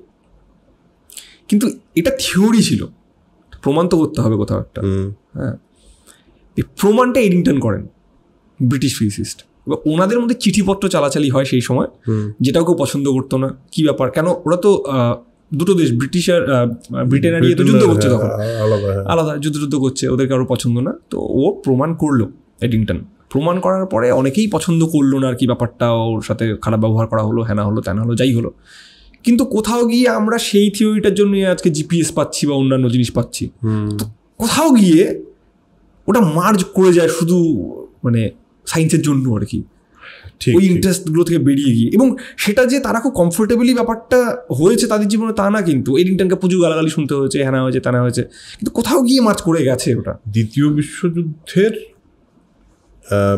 ম্যানহাটন প্রজেক্ট ম্যানহাটন প্রজেক্টের জন্য যে ওপেন হাইমারকে এতটা বড় ফান্ড করা হয় এই জন্য সেখানে সেই সময় বিভিন্ন দেশের বৈজ্ঞানিকদের মানে আইনস্টাইনেরও একটা প্রচ্ছন্ন ইনভলভমেন্ট ছিল তাতে। উনি একটা লিও শিলার্টকে চিঠি লিখেছিলেন আরেকজন বৈজ্ঞানিক। সেই চিঠিতে তিনি না ডিরেক্টলি অপোজ করেননি। ম্যানহাটন প্রজেক্টকে আচ্ছা। কেন? তার কারণটা এটা আমি আমার একটা ইয়ের থেকে বলি। এটা হলো ম্যানহাটন প্রজেক্ট তখন হচ্ছে যে এটা একটা নিউক্লিয়ার এনার্জির একটা চূড়ান্ত জিনিস ক্রিয়েট হয়ে যেতে পারে। এটা দিয়ে যে বম হবে সেটা তো পরবর্তী কথা মানে পরবর্তীতে এসছে এবং সেটা যে এত ডিস্ট্রাকটিভ হয়ে যাবে এটা তো কেউ ভাবেনি। তার আগে হাইড্রোজেন বোম এসে গেছে। হাইড্রোজেন বোমেরও মারাত্মক এফেক্ট কিন্তু ডিরেক্টলি আইনস্টাইন অপোজ করল না। এই যে তুই বললি বিভিন্ন দেশের ওভারঅল বৈজ্ঞানিকদের মধ্যে কিন্তু এরকম প্রচুর উদাহরণ আছে যেখানে তুই বললি সায়েন্সটা পলিটিক্সের ব্যারিয়ারের বাইরে গিয়ে মিলে যায়। মিলে যায়। খুব কষ্ট করে মেলে কিন্তু মিলে যায় আর কি। হ্যাঁ মানে পথে বাধা অতিক্রম করতে হয় ঠিকই কিন্তু ফাইনালি মিলে যায়। তাহলে তুই বলছিস সায়েন্সটা এনে মানে ধরো পলিটিক্সের চেয়ে সায়েন্সটা একটুখানি বিগার স্টেজে আছে বলছিস তুই। না সেটাও ঠিক না। মানে ওইভাবে করে ভাবলেও হবে না। ধরো দুই যোগ দুই চার। তো আমি দেশ চালাচ্ছি আমার কাছে দুই যোগ দুই চার যদি এই মুহূর্তে প্রমাণ হয়ে যায় আমার এটা একদম ভালো লাগবে না শুনতে। কারণ আমি দুই যোগ দুই পাঁচ বলে গভর্নমেন্ট চালাচ্ছি। যেই গভর্নমেন্ট ডান বাম সমান যাই হোক আর কি। তো এবার তুমি সেই বিজ্ঞানীকে ফান্ড করলে না হ্যানা করলে না তারা করলে না করে আটকে দিলে। এবার দুই আর দুই তো চারই হয়। আজ করবে কুড়ি বছর পরে করবে পঞ্চাশ কেউ না কেউ তো বের করেই দেবে। এবং এটা এই সত্যিটাকে তো আটকে ফ্যাক্টটাকে তো আটকে রাখা যাবে না। তো যেহেতু ওই সায়েন্স ব্যাপারটা ওই কোয়ান্টিফিকেশন আসলে তখনই আসে। তো কোয়ান্টিফিকেশন যখনই আসবে কেউ না কেউ তো কোনোদিন করেই ফেলবে। বেশ বেশ। বা এটা সুন্দর এক্সপ্লেনেশন পেলাম। আমরা পলিটিক্স আর সায়েন্সকে কীভাবে কানেক্ট করা যায়? নিউট্রাল পার্সপেক্টিভ সায়েন্সের পার্সপেক্টিভ থেকে ইয়ে করলাম। তার আগে আমরা বুঝলাম পিএইচডি কী করে পিএইচডির টোটাল প্রসেসটা কি এবং কি করে পিএইচডি করতে হয়। আমার মনে হয় অনেক অনেক মানুষদের যারা পিএইচডি করতে চায় তারা এই পুরো প্রসেসটা একবার জেনে নিলে তাদের পক্ষে অনেক সুবিধা হয়। কারণ আমার মনে হয় তোর ক্ষেত্রেও তুই ঢুকতে ঢুকতে জেনেছিস ব্যাপারটা। তো যদি কেউ পিএইচডি করতে চায় তাদের সঙ্গে এই ভিডিওটা অবশ্যই শেয়ার করবেন। এবার আমাকে বল একটা লোক রিসার্চ করল। সে রিসার্চ করে আমরা আগে আমরা মানে আমি শঙ্কুর লেখায় প্রচুর পড়েছি নেচার পত্রিকার কথা। আমরা আমি যতদূর তার তারপর ওই নেচার শুনে আমি যতদূর দেখেছি it is a scientific journal যে জার্নালে ব্যাপারটা প্রকাশিত হয়। এবার যারা যারা এই রিসার্চটা করে তারা তো প্রত্যেকেই নিশ্চয়ই এই জার্নালে প্রকাশিত করে এরকমই ধারণা আমার। এই ব্যাপারটা কি এই প্রসেসটা কি যে জার্নালে পাবলিকেশন হবে এই ব্যাপারটা কি? পিএইচডি করার সময় যা রেজাল্ট বেরোলো বা একজন পিআই যে কাজ করছে ওনাকে বলা হয় করেসপন্ডিং অথার যেহেতু উনি করেসপন্ড করেন। যে রেজাল্টটা এলো সেটা নিয়ে আমরা একটা গবেষণাপত্র লিখি যে আমি এটা এটা দেখলাম এটা এটা হলো এটা এটা হলো না তার কিছু রেজাল্ট বেরোলো। এইবার যখন একটা রেজাল্ট পেলাম প্রথম কাজ থেকে হচ্ছে নিজেদের কমিউনিটির মধ্যে শেয়ার করার। কারণ হয়তো একই বিষয় নিয়ে কেউ কাজ করছে বা কারুর কাজটা আটকেই আছে শুধু এটা জানে না বলে। আচ্ছা হ্যাঁ ঠিক আছে? বা অন্য ফিল্ডে কারোর এটা জানলে পরে অন্য কিছু করতে সুবিধা হবে ডিসিশন নিতে। মোট কথা জ্ঞান সবার। তো যেই আসবে আমার কাছে ব্যাপারটার উত্তর অমনি লিখে ফেলব। সে লিখে ফেলার মধ্যে অথারশিপ থাকে যে যার কাজ মেনলি সে প্রথম অথার হবে। তার যে গাইড থাকবে সে করেসপন্ডিং অথার হবে। তারপরে অন্যান্য কোর- কারোর যদি কন্ট্রিবিউশন থাকে second author third author fourth author and so on এই ব্যাপারটাকে অনেকে করে কি তিন চারটে ল্যাব একসাথে একটা পাবলিকেশন করে। ঠিক আছে? সেটা এই পাবলিকেশনটা কি আমি এই এই জিনিস এই ফিল্ডে আমি এই এই জিনিস জানতে পেরেছি এবং সেটা আমি সবার সঙ্গে শেয়ার করতে চাই। এটাই হ্যাঁ। তো ইজ দ্য আইডিয়া এটাই হ্যাঁ। এবার দেখা গেলো দুটো ল্যাব মিলে একটা জিনিসের চার পাঁচটা পার্ট ভাগ ভাগ করে নিলো যে তুমি দু নম্বর তিন নম্বর করো আমি পাঁচ নম্বর সাত নম্বর করছি মিলিয়ে নিয়ে ওরা লিখলো এটা। এবার এই পাবলিকেশনটা হয় কেমন করে? বা পাবলিকেশনটা কোথায় করব এটা একটা বক্তব্য? প্রসেস আছে তো একটা রকম? একদম একদম। তো এইগুলোকে বলা হয় সাইন্টিফিক জার্নাল তুমি যেটা বললে নেচার তো নেচার তো একটা কি বলব একটা একটা টপ টিয়ারের একটা জার্নাল আর কি। তো এটা ছাড়াও অনেক জার্নাল রয়েছে। তো এইবার লেখালেখির পরে সব কিছু করে সুন্দর করে লিখে অঙ্ক কষে সব কিছু ছবি টবি এঁকে সব কিছু করে তাদের কাছে পাঠানো হয়। এখন মেল করা হয় আগে খামে যেত। এবার তারা জার্নালগুলো কয়েকজন রিভিউয়ার ঠিক করে যারা দেখবে কাজটা আদেও ঠিক কিনা। আচ্ছা। আচ্ছা তো এই প্রসেসটাকে বলে peer review peer review peer review কেন? কারণ যে গবেষক আমি এখানে আর পিএইচডি স্টুডেন্টের কথা আসছি না আমি একদম ইয়ের কথাই বলছি গাইডের কথা বলছি আর কি প্রিন্সিপাল ইনভেস্টিগেটর সে তার মতন করে জার্নাল রিকোয়ারমেন্ট থাকে যে চারজন বা পাঁচজনের নাম দিতে হবে। উনি তার ফিল্ডে যে বুঝতে পারবে বলে মনে হয় হুম। সেরকম পাঁচজনের নাম সাজেস্ট করেন। ঠিক আছে? জার্নালকে বলেন যে এদের কাছে তুমি পাঠাতে পারো এরা বুঝতে পারবে। অন্যরা বুঝতে পারবে কারণ এরা এই বিষয়টা নিয়ে জানে। জানে। কারণ এত বেশি পিন পয়েন্টেড রিসার্চ হয়ে যায় যে আর কেউ বুঝতেই পারবে না আর কি। জার্নাল সেখান থেকে র্যান্ডমলি দুজন বা তিনজনকে চুজ করে। ওদের এডিটার অনুযায়ী ওরা দু তিনজনকে চুজ করে করে একটা টিম বানায় যে যারা রিভিউ করবে প্রসেসটাকে সেই রিভিউ এক মাস দু মাস সময় নিতে পারে তারা তারা পড়ে দেখে না তুমি ওখানে ভুল করেছ ওখানে কমা দাওনি না না এইটা তো হয়নি এটাকে আরেকটু করো। করে জানাবে। এবার রিজেক্ট করে দিতে পারে না এই পেপারটা না আমাদের জার্নালের জন্য না। আমাদের জার্নালে এই বিষয়টা নিয়ে ঠিক কাজ করে না। যে তুমি একটু আগে বললে যে কোনটা পার্টিকুলারলি ওই সাবজেক্ট বোঝাটা খুব মুশকিল মানে কোনটা এটার মাথা কোনটা এটার লেগে টেগে থাকে আর কি। যে জন্য ফান্ডিং এজেন্সিগুলো ওভারল্যাপ হয়। তো জার্নালে ওভারল্যাপ হয়। তো ও আমাকে বলল যে আমার জন্য না। তো রিজেক্ট হয়ে গেল। তুমি ওটাকে অন্য জার্নালে পাঠালে। যতদিন তার কাছে পড়ে থাকল ততদিন অন্য জার্নালের সাথে কথা বলতে পারবে না। তো তোমার যদি রিজেক্ট হতে থাকে এক মাস দু মাস ছ মাস করে পেঁচাতে থাকবে। পাবলিকেশন আচ্ছা মানে আমি আমার সাইন্টিফিক ফাইন্ডিং বের করার জন্য এটা এরকম একটা রিভিউ টিভিউর মধ্যে দিয়ে গিয়ে আমার সাইন্টিফিক ফাইন্ডিংটা একটা সাইন্টিফিক জার্নালে বেরোবে। বেরোবে। এবার ওরা যখন অ্যাকসেপ্ট করবে তারপরেও আগের থেকে অ্যাকসেপ্টেড হয়ে আর্টিকেলগুলো থাকে ওটা বেরোলো। এই দেশ পত্রিকার মতো একটা পত্রিকা আচ্ছা এইবার সমস্যাটা হচ্ছে এখানে ওই যে যারা ঠিক করছে যে এটা ঠিক আছে কিনা তারাও তো কিছু কিছু বুঝতে পারছে না যে এটা নতুন জিনিস কেমন করে বুঝতে পারবে ঠিক হচ্ছে কিনা। ওই দুই আর দুই চার এখন যদি তুমি চার না করে পাঁচ করে রাখো তাহলে ভবিষ্যতে গিয়ে দেখা যাবে না ওটা চার হয়েছিল ওটা ভুল ছিল। তখন এই পেপারটাকে তুলে নেওয়া হবে যেটাকে বলা হয় রিট্রাকশন মানে জার্নালটা পাবলিশ পেপারটা পাবলিশ হয়ে জার্নালে বেরিয়ে গেল হাততালি দিয়ে দিল সবাই সব কিছু ঠিক হয়ে গেল end of the research of that project হয়ে গেল। কিন্তু তারপরে রিট্রাকশনও হতে পারে। আচ্ছা। এটা একটা বড় ব্যাপার। যাতে করে প্রচুর সমস্যা হচ্ছে। রিট্রাকশন মানে এইটা তুলে নেওয়া হবে মানে এটা পাবলিশ হয়ে গেল তো? পাবলিশ হয়ে গেল। সেই জার্নাল বহুদিন পরে গিয়ে বলল না আমার ভুল হয়েছিল বুঝতে পারিনি। ও আচ্ছা মানে ও বলল যে আমার আমার ছাপাটা ভুল হচ্ছে। মানে ছাপাটা না আমি বুঝতেই পারিনি যে এই কাজটা ভুল ছিল। ওটাই বললাম মানে আমার হ্যাঁ, ছাপাটা ভুল হয়েছে, ছাপাটা ভুল হয়ে গেছে আমি তুলে নিলাম। আচ্ছা বেশ। তুলে নিলাম। এবার মানে অঙ্ক বলে যে পাঁচ পার্সেন্ট ভুলই ছাপা হয় সবসময়। আচ্ছা। এটা কেন হয়? কারণ আমি বিজ্ঞানে আসছি আবার। মানে বাংলা ইতিহাসে অঙ্কে যাচ্ছি না।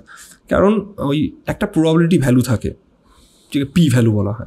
তো probability value zero point zero ফাইভের নিচে হলে তবেই সেই রেজাল্টটাকে সিগনিফিকেন্ট ধরা হয়। রে প্রবাবিলিটি ভ্যালু মানে আবার কি? ধরো তুমি কিছু একটা দেখলে একটা অবজারভেশন করলে আর কি। হ্যাঁ। যে ঢিল মারলে গাছ থেকে আম পড়ে। হ্যাঁ। পড়ে। তুমি একশোটা ঢিল মারলে তো শিয়ার লাক অনুযায়ী তোমার পাঁচবার আমটা পড়বে বাকি সময়কে প্রিসিশন দেখে মারতে হবে। হ্যাঁ। তো ওই যে শিয়ার লাক কতটা আর বিজ্ঞান কতটা এটার ভাগ করা হয় ওটা দিয়ে।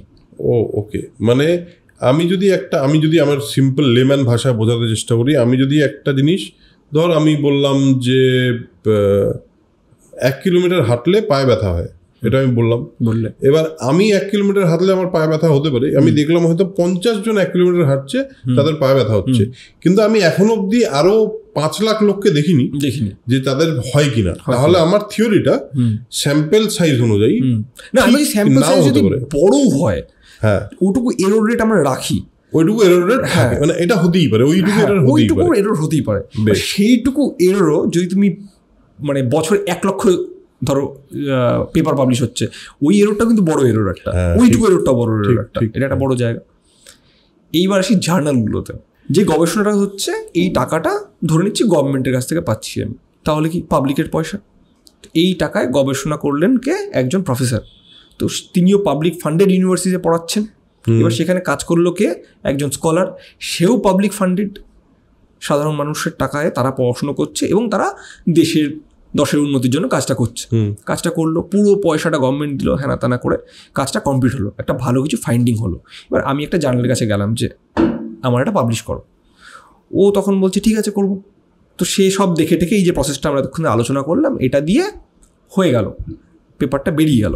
পাবলিকেশনটা নিয়ে আমরা কথা বললাম কেমন করে পাবলিকেশনটা হয়। এবার অ্যাক্সেসিবিলিটি নিয়ে কথা বলব আমরা এটা। তো একটা রিসার্চ প্রজেক্ট যখন শুরু করা হচ্ছে তখন পাবলিক ফান্ডেড পাবলিকের পয়সা গভর্নমেন্টের কাছে গভর্নমেন্ট সেই টাকাটা একজন রিসার্চারকে দিচ্ছে। মানে পিআই হোক বা গাইড হোক প্রফেসরকে দিচ্ছে। এবার তার যে রিসার্চের যা জিনিসপত্র লাগবে সেটাও গভর্নমেন্টের পয়সা থেকে আসছে।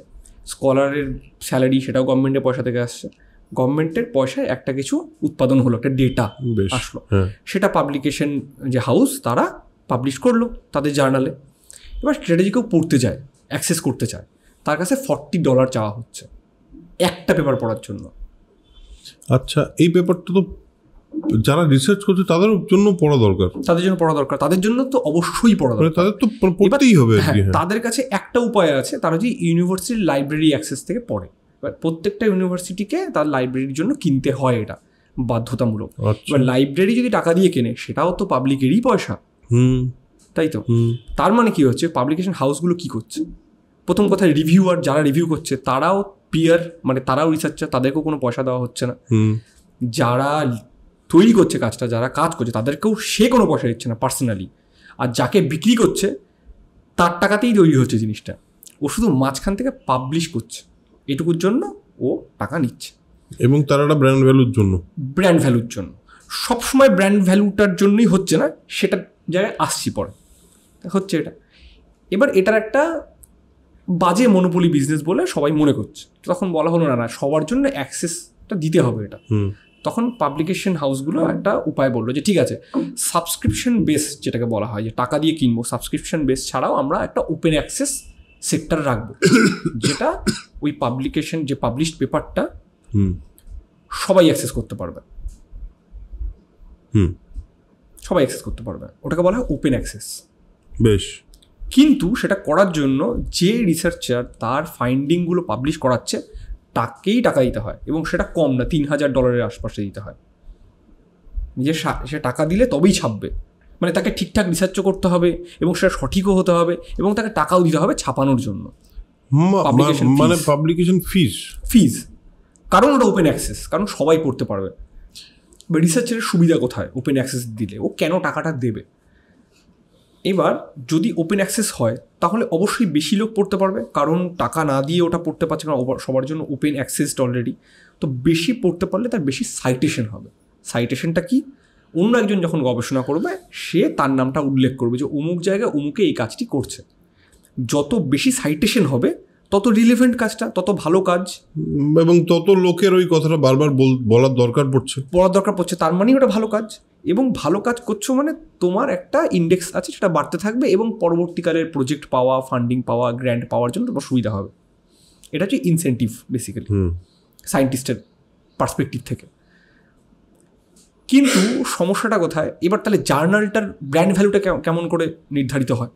স্কিমাগো বলে একটা ওয়েবসাইট আছে একটা সংস্থা আছে তারা এই র্যাঙ্কিংটা করে। তার এই সাইটেশন কোন জার্নালে সবচেয়ে বেশি সাইটেশন হচ্ছে? মানে কোন জার্নালের পেপারগুলো সবচেয়ে বেশি সাইটেশন হচ্ছে? এবং কোনটা কোন ফিল্ডে কত বেশি রিলিভেন্টলি কাজে মানে এগোচ্ছে? সব কিছু মানে জটিল অঙ্ক করে তারা একটা শেয়ার মার্কেটের মতন গ্রাফ দেয়। তার একটা ইম্প্যাক্ট ফ্যাক্টর হয় একটা জার্নালের আচ্ছা। তো নেচারের ইম্প্যাক্ট ফ্যাক্টর চল্লিশের কাছাকাছি। আচ্ছা। ঠিক আছে? বেঞ্চমার্ক একটা। তার ওপরেও হয় নিচেও হয়। এবার এই যে ইম্প্যাক্ট ফ্যাক্টর এটা দেখে অন্য সায়েন্টিস্টরা বুঝতে পারে যে অমুকের অমুক জার্নালে বেরিয়েছে যার ইম্প্যাক্ট ফ্যাক্টর দশ বারো কুড়ি পঁচিশ তাহলে ও ভালো সায়েন্টিস্ট। তাহলে ওকে ফান্ড দেবো ওকে ওর সাথে কাজ করার জন্য ওকে ডাকবো জয়েন্ট প্রজেক্ট করব। ওকে তো ব্র্যান্ড ভ্যালুটা এইখানে দরকার। আচ্ছা। দরকার। আচ্ছা। এই ব্র্যান্ড ভ্যালুটা বাড়ানোও যায়। বাড়ানো যায়। বাড়ানো যায়। যদি বেশি ওপেন অ্যাক্সেস করে তাহলে তো বাড়তেই থাকবে না। ইনহেরেন্টলি বাড়তে থাকবে। কেউ যদি বেশি টাকা ওপেন অ্যাক্সেসে রাখে তাহলে বেশি রিলিভেন্ট রিসার্চকে ঢুকতে দেয় তবে। সে হ্যাঁ। এমনভাবে করল ক্যাপ করল একটা যাতে ভালো রিসার্চটাই ওখানে পাবলিশ হয়। তো এরকম করে করা হয়। হ্যাঁ। সেটা খুবই টেকনিক্যাল ব্যাপার সেদিকে না যাওয়াই ভালো। হ্যাঁ। তো এই বিজনেস মডেলটা ঠিক না। এটা সবারই একটা এটা নিয়ে কিন্তু কিন্তু আছে। তাই এটার উপায়টা কি? তাহলে সব সায়েন্টিস্টদের বলতে হবে যে আমরা তাহলে রিপুটেড জার্নালে পাবলিশ করব না। হুম। আমরা যে কোনো জার্নালে করব কারণ জার্নাল তো জার্নালই তোমার কাছে যখন রেজাল্ট আসে রেজাল্টটা তো রেজাল্টই এটা তো ভালো জার্নালে বেরোচ্ছে বলে ভালো তা নয়। কিন্তু ভালো জার্নালে ওই রিভিউ প্রসেসটা একটু রিগারাস হয়। একটু। পুঙ্খানুপুঙ্খ দেখা হয় তো ভরসা করতে পারে লোকে। তো এটা তো কেউ করবে না। কে করবে? কেউ তো আর প্রথমে গিয়ে বলবে না না আমি করব না। ভালো কাজ করেছি তবুও ভালো জার্নালে দেবো না। কারণ ওরা টাকা চাচ্ছে বা কিছু একটা। করবে না। তো এটা বাইপাস করার জন্য আমাদের সাইহাবের কথাটায় আসতে হবে। সাই হ্যাবটা কি? সাইহাব হচ্ছে একটা ওয়েবসাইট লাইব্রেরি আর্কাইভ ওয়েবসাইট একটা এটা আলেকজান্ড্রা এলবাকিয়ান বলে একজন ভদ্রমহিলা উনি দু হাজার এগারো সালে শুরু করেন। হ্যাঁ উনি নিজে কাজাকিস্তানের। উনি করেন কি এই যত পাবলিকেশন পাবলিশড পেপার রয়েছে সেগুলোকে ইলিগালি ডাউনলোড করেন। আমি ইলিগালি কথাটা বলছি কারণ টেকনিক্যালি এটা ইলিগাল মানে না আমি বলছি ডাউনলোড যখন করেন তখন তো তিনি কিনেই করেন নাকি? না এত টাকা তো ওনার কাছে নেই। আচ্ছা, সাধারণ একটা আচ্ছা, স্কলার ছিলেন উনি আচ্ছা, কম্পিউটেশনাল আচ্ছা। স্টাডিজে তো কোনো না ভাবে কোনো না কোনো ভাবে ডাউনলোড করে নেয় হ্যাঁ উনি জোগাড় করেন করে ওই সাইটে ফ্রিতে দিয়ে দেন যার পড়ার ইচ্ছা ওখান থেকে ফ্রিতে ডাউনলোড করে পড়তে পারে আচ্ছা। আচ্ছা। তো এখানে লক্ষ্য করে তাহলে তো পাইরেসি হচ্ছে এটা। হ্যাঁ নর্মালি পাইরেসি কি হয়? যে একজন মিউজিক পাইরেসি হলে কি সমস্যা কারণ মিউজিক যখন আমরা ইলিগালি ডাউনলোড করি তখন আর্টিস্টের ক্ষতি হয়। তাই তো? আর্টিস্টের খরচা করেও বানিয়েছে জিনিসটা আমরা যখন ফ্রিতে ওটা ইলিগাল ডাউনলোড করি তখন আর্টিস্টের ক্ষতি হয়। কিন্তু এখানে কিন্তু কারোর ক্ষতি হচ্ছে না। কারণ যে সায়েন্টিস্ট কাজ করছে সে কোনো ইনসেন্টিভ পাচ্ছে না কেউ কিছু পাচ্ছে না। শুধুমাত্র পাবলিশিং হাউসগুলো ছাড়া। এবং আমি এমনটা বলছি না যে টাকা দেওয়া উচিত না তাদেরও তো কিছু খরচা থাকে। কিন্তু সেটা অতটা না যে এক একটা পেপার চল্লিশ ডলারে বিক্রি করতে হবে। প্লাস মাইনাস যাই। তাই তো? তো যারা বড় বড় হাউস পাবলিশিং হাউস যেমন এলসিভিয়ার স্প্রিঞ্জার এরাই মোটামুটি পুরো গেমটা কন্ট্রোল করে আর কি। এবং দু হাজার পনেরো সালে তারা দুটো কেসও করে ওনার বিরুদ্ধে আলেকজান্ডার বিরুদ্ধে এবং দুটো কেসেই উনি হেরে যান। তাতে করে তার সাইটটা বন্ধ করে দেওয়া হয়। উনি অন্য নামে ডোমেন নেম চেঞ্জ করে আবার সাইটটা খোলেন। মানে এর উদ্দেশ্যটা হলো আমি যেটা বুঝলাম সেটা হলো যে এই পৃথিবীতে জ্ঞান আছে এবং জ্ঞানের উপর কারও এক আধিপত্য থাকতে পারে না। থাকতে পারে এবং ওর বক্তব্যটা হলো এটার এগেনস্টই ওর রেবেলটা হ্যাঁ। যে আমি নিয়ে সবাইকে দিয়ে দেবো সবাই এই পড়ার অধিকারটা সবার থাকা সবার থাকা উচিত। সবার থাকা উচিত। তারপরে দু হাজার সতেরো সালে এলসিভিআর আবার ইন্ডিয়াতে কেস করে যেটার জন্য এখন কিছুদিন আগে পর্যন্ত আপলোড বন্ধ ছিল। মানে উনি আচ্ছা, আপলোড করতে আচ্ছা, পারছিলেন না আচ্ছা। আবার ঠিক করেছেন ওটা। তো এই লিগালিটিটা কোশ্চেনেবল আর কি। কারণ এখানে সবার উপকার হচ্ছে তবুও ব্যাপারটা ইলিগাল এবার কেমন করে ঠিক করা হবে এটার বুদ্ধিটা এখনও কেউ পায়নি। শুধু তাই না আমার মনে হয় এটা বেশ কমপ্লিকেটেড একটা প্রসেস কারণ একটা ব্র্যান্ড তৈরি হয়ে গেছে। তারা জানে যে তাদের পত্রিকায় ছাপাটা ছাপা মানে তারা তো সায়েন্টিস্ট নয়। তারা জানে আমাদের পত্রিকায় ছাপা মানে এটা একটা ব্র্যান্ড ভ্যালু তৈরি হয়ে গেছে। তাদের জায়গা থেকে তারা কি ওই ব্র্যান্ডটা আমরা যে তৈরি করেছি তার একটা ডিভিডেন্ড আমাদের দরকার আমাদের তার থেকে একটা লাভ দরকার। হ্যাঁ কিন্তু ব্র্যান্ডটা তো ওরা তৈরি করেনি। এক্স্যাক্টলি আমি সেটাই বলতে চাইছি ওরা তো। চাইছে লাভটা কিন্তু অ্যাকচুয়ালি তো ব্র্যান্ডটা ওরা তৈরি করেনি। ব্র্যান্ডটা তো তৈরি হচ্ছে বাকি সবার রিসার্চ দিয়ে। একদম। এবার এটা একটা স্ট্যান্ডার্ডাইজ প্রসিডিওর কেমন করে করা হবে সেটা একটা ভাবার বিষয় আর কি। কিন্তু করতে তো হবেই। এটা একটা এটা একটা অদ্ভুত ডাইলেমার ব্যাপার এবার। সাইহাবের খারাপ দিকটা আমাদের একটু বলতে হবে আমরা শুধু তো একটা দিক বললে তো হবে না। হ্যাঁ।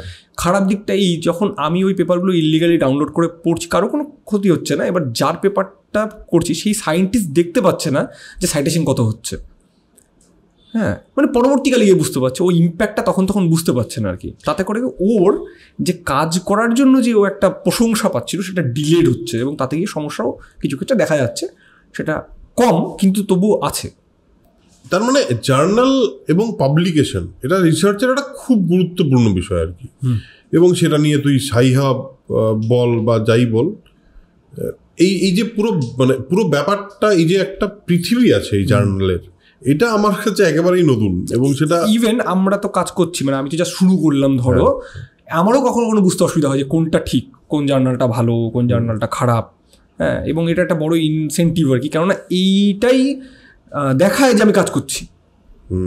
আমি একটা আবিষ্কার করে আনলাম কেউ একজন করে আনলো সেটা অথেন্টিসিটি হচ্ছে পাবলিকেশনটা আচ্ছা পাবলিকেশন বিষয়টা তো খুব ইম্পর্টেন্ট বোঝা গেল। মানে একটা লোকের তার কাজটা কতটা গুরুত্বপূর্ণ সেটা বোঝার জন্য এরকম ভালো ভালো জায়গায় পাবলিশ হওয়াটা খুব জরুরি। তার মানে এই পুরো একটা ওয়ার্ল্ড আছে এই পাবলিকেশন নিয়ে যেটা সম্পর্কে সাধারণ মানুষের খুব একটা মানে বিরাট জ্ঞান নেই। আচ্ছা বুঝলাম। এইবার যেখানেই একটা ইন্ডাস্ট্রি থাকবে সেখানে কিছু ব্যাড অ্যাপেলস থাকবে। হুম। এবার কিছু কিছু জার্নাল আছে যারা ওই যে পয়সাটা বললাম ওপেন অ্যাক্সেস সেটা তো অথেন্টিক জার্নালরাও নেয় শুধু অ্যাক্সেস বেশি করার জন্য। কিছু কিছু জার্নাল আছে যারা ডিরেক্ট টাকাটা নেয় শুধু পাবলিশ করার জন্য। মানে তারা কোনো রিভিউ করবে না তারা দেখবে না তোমার কাজটা ঠিক আছে কিনা। তোমার বেসিক একটা রিভিউ করবে গ্রামারটা ঠিক আছে কিনা করে পাবলিশ করে দেবে টাকা নিয়ে। এদেরকে বলা হয় প্রিডিটরি জার্নাল আচ্ছা। ঠিক আছে? এইবার পিএইচডি জার্নালটা কেন ইম্পর্টেন্ট আবার যদি পিএইচডিতে ফিরে যাই তো পিএইচডিতেও থাকে যে তুমি তোমার কাজটা কমপ্লিট করেছ কি না তো ইন্ডিয়ায় এটা আছে যে তোমাকে একটা পেপার পাবলিশ করতেই হবে তোমার রিসার্চের ওপরে। আচ্ছা। তাহলে তুমি eligible for the submission of that thesis okay ঠিক আছে। আচ্ছা। যেটা একদম রিসেন্টলি কয়েক মাস আগে উঠে গেছে কিন্তু এখনও প্র্যাকটিসটা আছে। ঠিক আছে? তার মানে তোমার কোথাও না কোথাও একটা থাকে যাই করি আমাকে পাবলিশ করতেই হবে। হ্যাঁ। ঠিক আছে? এবার দেখা গেলো তোমার কোনো কারণের জন্য ডেটা আসেনি বা ভুল হয়েছে বা কিছু একটা হয়েছে। বা কেউ কেউ এমনিও মানে বাজে মাইন্ডসেট থেকেই বলব আর কি বলব এটাকে। তারা ওই পয়সা দিয়ে পাবলিশ করে দিচ্ছে। এবার তুমি পয়সা দিয়ে এখন পাবলিশ করে দিলে তোমার কাছে সার্টিফিকেট চলে এলো একটা। ওই যে অমুক জার্নালে আমার পেপারটা বেরিয়েছে আমি ফাইন্ডিং করেছি। ঠিক। এবার সায়েন্সে একটা বড় ইম্পর্টেন্ট যে ডেটা রিপ্রোডিউসিবিলিটি তুমি দুই আর দুই চার বললে পাঁচ বছর পরও দুই আর দুই চারই হবে। তো পাঁচ বছর পরে কাউকে তো টেস্টটা করতে হবে তাহলে দুই আর দুই চার আসবে। এবার পরে গিয়ে করে দেখল যেটা হচ্ছে না। তার মানে যে ওই লোকটা করেছিল সে হয়তো সেই স্ট্যাটিস্টিক্যাল বায়াসের জন্য ভুল করেছিল আর না হলে ও প্রিডেটারি জার্নালে ছেপেছিল। মানে আইদার দাঁড়া আরেকটু আমি সিম্পলিফাই করার চেষ্টা করছি একটা লোক তার ফাইন্ডিংটাকে একটা জার্নালে ছাপলো টাকা দিয়ে। বা সেটা একটা প্রথম কথা মানে টাকা দিলেই চেপে যাবে তার কোয়ালিটি অফ দ্য মানে রিসার্চ বা ওপেন অ্যাক্সেসের সাথে গুলিয়ে ফেললে না না না ওপেন অ্যাক্সেস সঙ্গে গোলাচ্ছি না। আমি বলছি যে একজন রিসার্চারের পার্সপেক্টিভ থেকে ছাপার জন্য কিছু জার্নাল টাকা নিয়েও ছেপে দিচ্ছে। তাই তো? হ্যাঁ। এবার তার মানে সেটার অথেন্টিসিটি নিয়ে একটা প্রশ্ন প্রথমেই চলে এলো। মানে সেটা কতটা সঠিক? কারণ ওই রিভিউটা হয়নি। যে চার চার পাঁচজন দেখে টেকে যে বলবে যে না ঠিক আছে এটা ঠিক করে ওটা এটা একটা ফার্স্ট পয়েন্ট আমি যতটুকু বুঝলাম আমি তোকে বলি যে ঠিক বুঝেছি কিনা। সেকেন্ডটা হলো যে তুই যেটা বল বলছিস এখন আমার মনে হয় এটাকে আমি যদি আমি ঠিক বুঝি বুঝছি কিনা সেটা বলার জন্যই বলছি যে ধর আহ, আমি আমি ধর ক্রিকেট খেলতে শিখব বলে আমি ডিসাইড করেছি। মানে ক্রিকেট শিখব আমি একটা কোথাও। তো আমার তো প্রথমে ফুটওয়ার্ক শিখতে হবে। এবার ফুটওয়ার্কটা তো কেউ জানে। তার কাছে যাব আমি গিয়ে বলব ফুটওয়ার্কটা ঠিক করে শেখাবো আমাকে। ফুটওয়ার্ক শিখে গেলাম আমি কভার ড্রাইভ শিখে গেলাম। কিন্তু আমার এই ফুটওয়ার্কটা যদি ভুল শিখিয়ে দেয় সে। মানে সে যদি একটা জার্নালে পাবলিশ করে থাকে যে বা পা আগে বেরোবে ঠিক ব্যাটিং ঠিক এ ঠিক। এটা যদি কেউ পড়ে নিল তাহলে তো সে বাপা সারা জীবন বের করতে করতে ব্যাটিং শিখতে পারবে না সারা জীবন। এটাই হলো তুই বলতে মধ্যে বাহ ভালোই বুঝেছি আমি হ্যাঁ এইবার এই প্রিডেটারি জার্নালগুলোকে আটকানোর কি বিষয় কীভাবে করা যায় আর কি? প্রথম কথা এটা আইডেন্টিফাই করা খুব মুশকিল যে কে রিভিউটা করছে কে করছে না। কারণ ওরাও তো রিভিউ করছে বলে দেখাচ্ছে। সেটার অথেন্টিসিটিটা নেই আর কি। ওকে ওরাও চেষ্টা দেখাচ্ছে সব কিছু দেখাচ্ছে যে না না এটা খুব ভালো খুব ভালো খুব ভালো। কিন্তু পরে গিয়ে বোঝা হচ্ছে না। তো যখন যখন আইডেন্টিফাই করা হয় এটা লিস্ট বেরোয় একটা যে এরা প্রিডেটারি জার্নাল এবং গভর্নমেন্ট অফ ইন্ডিয়া বলে দিয়েছে এই সব লিস্টে যেই লিস্টেড জার্নালে পাবলিশ করে সেটাকে আমরা ধরবো না অ্যাজ এ অথেন্টিক পাবলিকেশন আর কি। আচ্ছা। তো এইভাবে করার চেষ্টা করা হচ্ছে।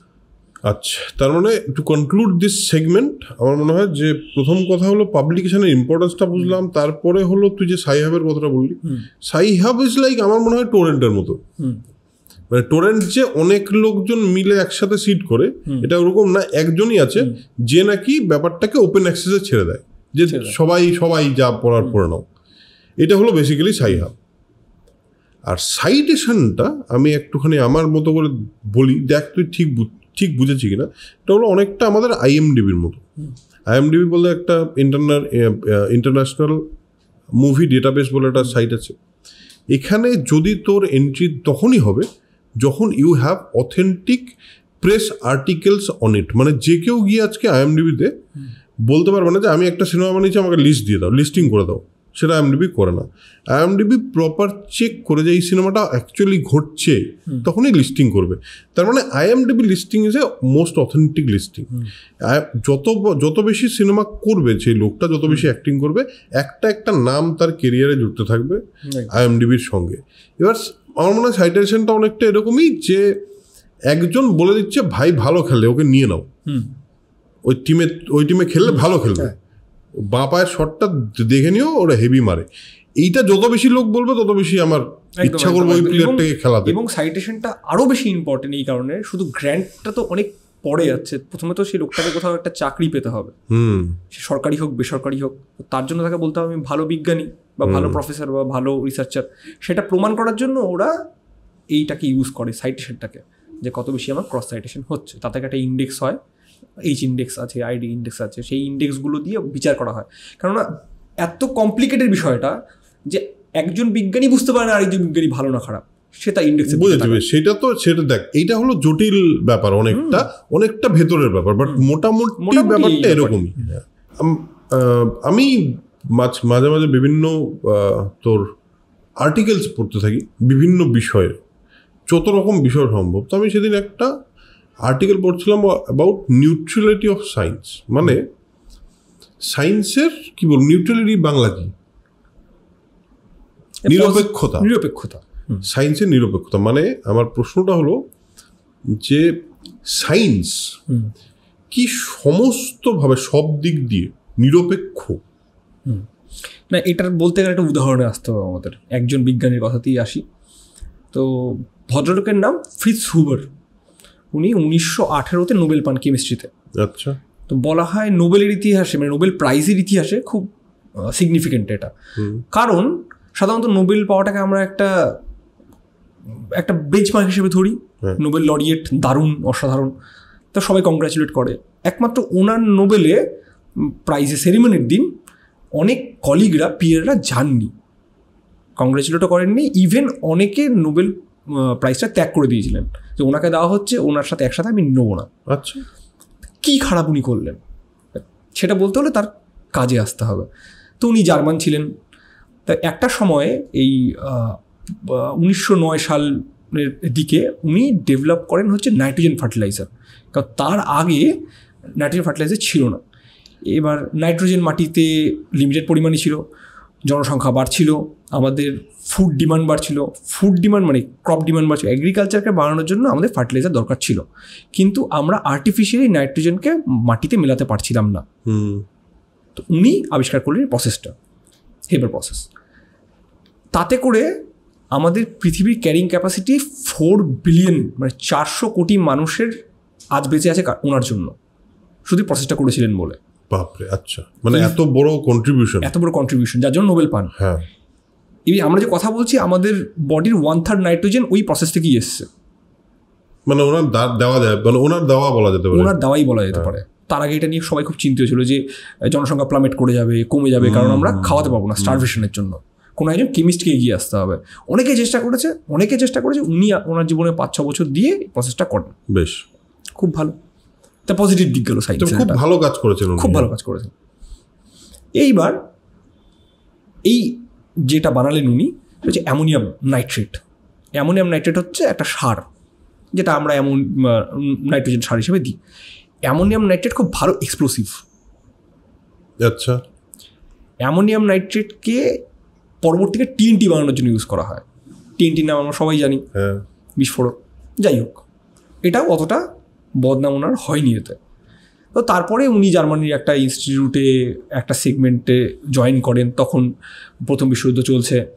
তো সেই সময় উনি ক্লোরিন গ্যাস ডেভেলপ করেন যেটা দিয়ে কেমিক্যাল ওয়ারফেয়ারে ইউজ করা হয় এবং জার্মানি ইংল্যান্ডের বিরুদ্ধে রাশিয়ার বিরুদ্ধে সেটা ইউজ করে। প্রচুর লোক মারা যায় প্রচুর লোক। আচ্ছা। এবার এস্টিমেশন বলে দশ লক্ষর কাছাকাছি লোক মারা গেছিল আর কি। ওনাকে যখন জিজ্ঞেস করা হয় এটা নিয়ে যে আপনি এরকম করলেন কেন? তো উনি বলেছিলেন যে না আমি মানুষ মারার জন্য করছি না। যুদ্ধটা যদি তাড়াতাড়ি শেষ করা যায় কোনোভাবে তাহলে অনেক লোকের জীবন বাঁচবে। উনি যে ইনহেরেন্টলি খুব খারাপ মানুষ ছিলেন ব্যাপারটা কিন্তু এরকম নয়। উনি প্রথম সাতটা বানালেন মানুষের জন্য যেটা বোম হয়ে গেল আর উনি গ্যাসটা বানালেন মানুষ মারার জন্য কিন্তু প্যাসিভলি মানুষকে বাঁচানোর জন্য।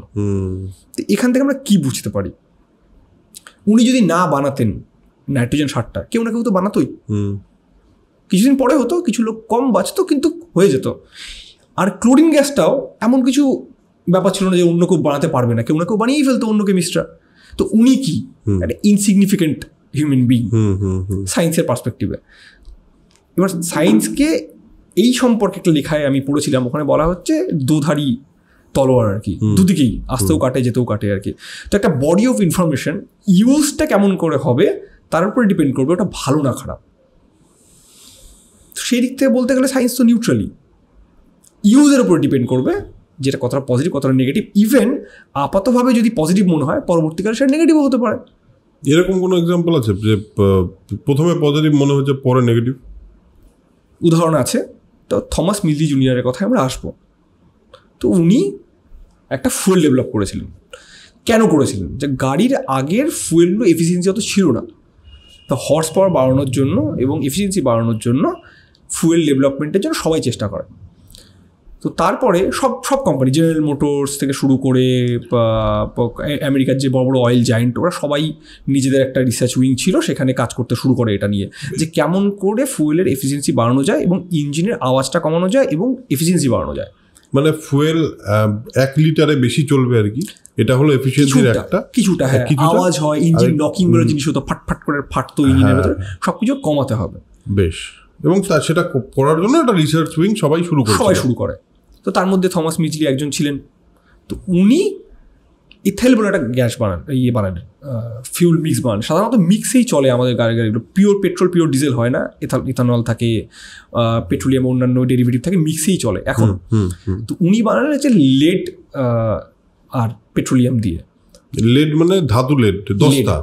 সীসা। সীসা সীসা হ্যাঁ, সীসা হ্যাঁ, হ্যাঁ। লেড তো ওটা লেড ইথাইল ছিল নামটা তো শর্টে ওরা ইথেল করে দেয় E T H Y L brand name তো জেনারেল মোটরস এবং তিনটে কোম্পানি আরও ছিল আমার নামটা মনে পড়ছে না এই মুহূর্তে ওরা একসাথে এটাকে মার্কেটে ছাড়ে। এবার ঠিক তার পরের বছর ওই যে এফ ওয়ান রেস হয় তাতে করে গিয়ে সবাই এটা ইউজ করে আর কি গাড়িতে গাড়ির রেসে তো সবাই প্রমাণ করানোর জন্যই করে এটা একটা মার্কেটিং গিমিক ছিল যে দেখুন আমাদের তেল ইউজ করে এত ভালো ভালো গাড়ি চলছে। হ্যাঁ তারা তো তারপরে এই প্রসেসটাকে উনি পেটেন্ট করান প্রচুর টাকা পয়সা পান কোম্পানি প্রচুর ইয়ে হয় এবং ওনাকে সিরিজ অফ টক দিতে ডাকা হয় যে আপনি এসে বোঝান যে আপনার ফুয়েলটা তো ভালো কেন আর কি। কিন্তু উনি যান না এইগুলোতে। উনি অন্য কাজে ব্যস্ত হয়ে যান। তো সবাই বলে না তাহলে তো খুব ভালো মানুষ আর কি। যে অ্যাকচুয়ালি উনি যাননি কারণ উনি অসুস্থ ছিলেন লেট পয়জনিংয়ে কি লেড এতটাই ক্ষতিকারক কেন ওটা ক্যালসিয়ামকে মিমিক করে আমাদের শরীরে? তো লেড ক্যালসিয়ামের জায়গায় বোনের মধ্যে জমে থাকে হাড়ের মধ্যে জমে থাকে এবং বহু বছর পর্যন্ত ব্রেন ডেভেলপমেন্ট কগনেট ডেভেলপমেন্টের জন্য ক্ষতি করে। ইভেন সেই লেড গ্যাসোলিন ইউজ করে গাড়ি চলছে মানে বাতাসেও লেড বেরোচ্ছে। হ্যাঁ পলিউশনের মধ্যে লেড হ্যাঁ। বেরোচ্ছে। সবার শরীরে লেডের রক্তে লেডের পরিমাণটা বেড়ে যায়। আচ্ছা। ভয়ঙ্করভাবে। আচ্ছা। বিভিন্ন জায়গায় বিজ্ঞানীরা বলতে আরম্ভ করেন যে না না না লেড পয়জনিং হচ্ছে এটা ঠিক না। কিন্তু কেউ কারোর কথা শোনে না। কারণ বড় মার্কেটিং ক্যাম্প ক্যাম্পেইন ছিল অয়েল জায়েন্টরা ছিল হ্যাঁ তারা এমনভাবে মার্কেট করে যেটা খুবই সেফ। সবাই ইউজ করো কোনো ব্যাপার না। কিন্তু থমাস মিজলি জুনিয়র নিজে যতটা সম্ভব পারতেন নিজের ফুয়েল থেকে দূরেই থাকতেন আর কি। আচ্ছা। যাই হোক এইরকম করে প্রায় পঞ্চাশ ষাট বছর কন্টিনিউ হয়, তারপর আস্তে আস্তে আস্তে আস্তে লেড গ্যাসোলিনকে ব্যান করে দেওয়া হয়। প্রথম জাপান করে হ্যাঁ আর বাকি দেশরা করতে করতে পঞ্চাশ ষাট বছর বেরিয়ে যায়।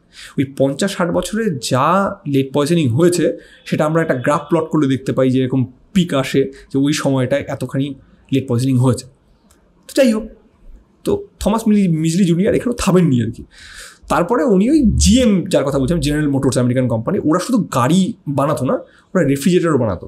তো সেই সময় দু একটা গ্যাস ইউজ হতো রেফ্রিজারেটারে সেইগুলো খুব একটা এফিসিয়েন্ট ছিল না। আবার এফিসিয়েন্সির জায়গায় আসলো যে এমন করে গ্যাস বানাতে হবে যেটা এফিসিয়েন্ট হয় কুলিংয়ের জন্য।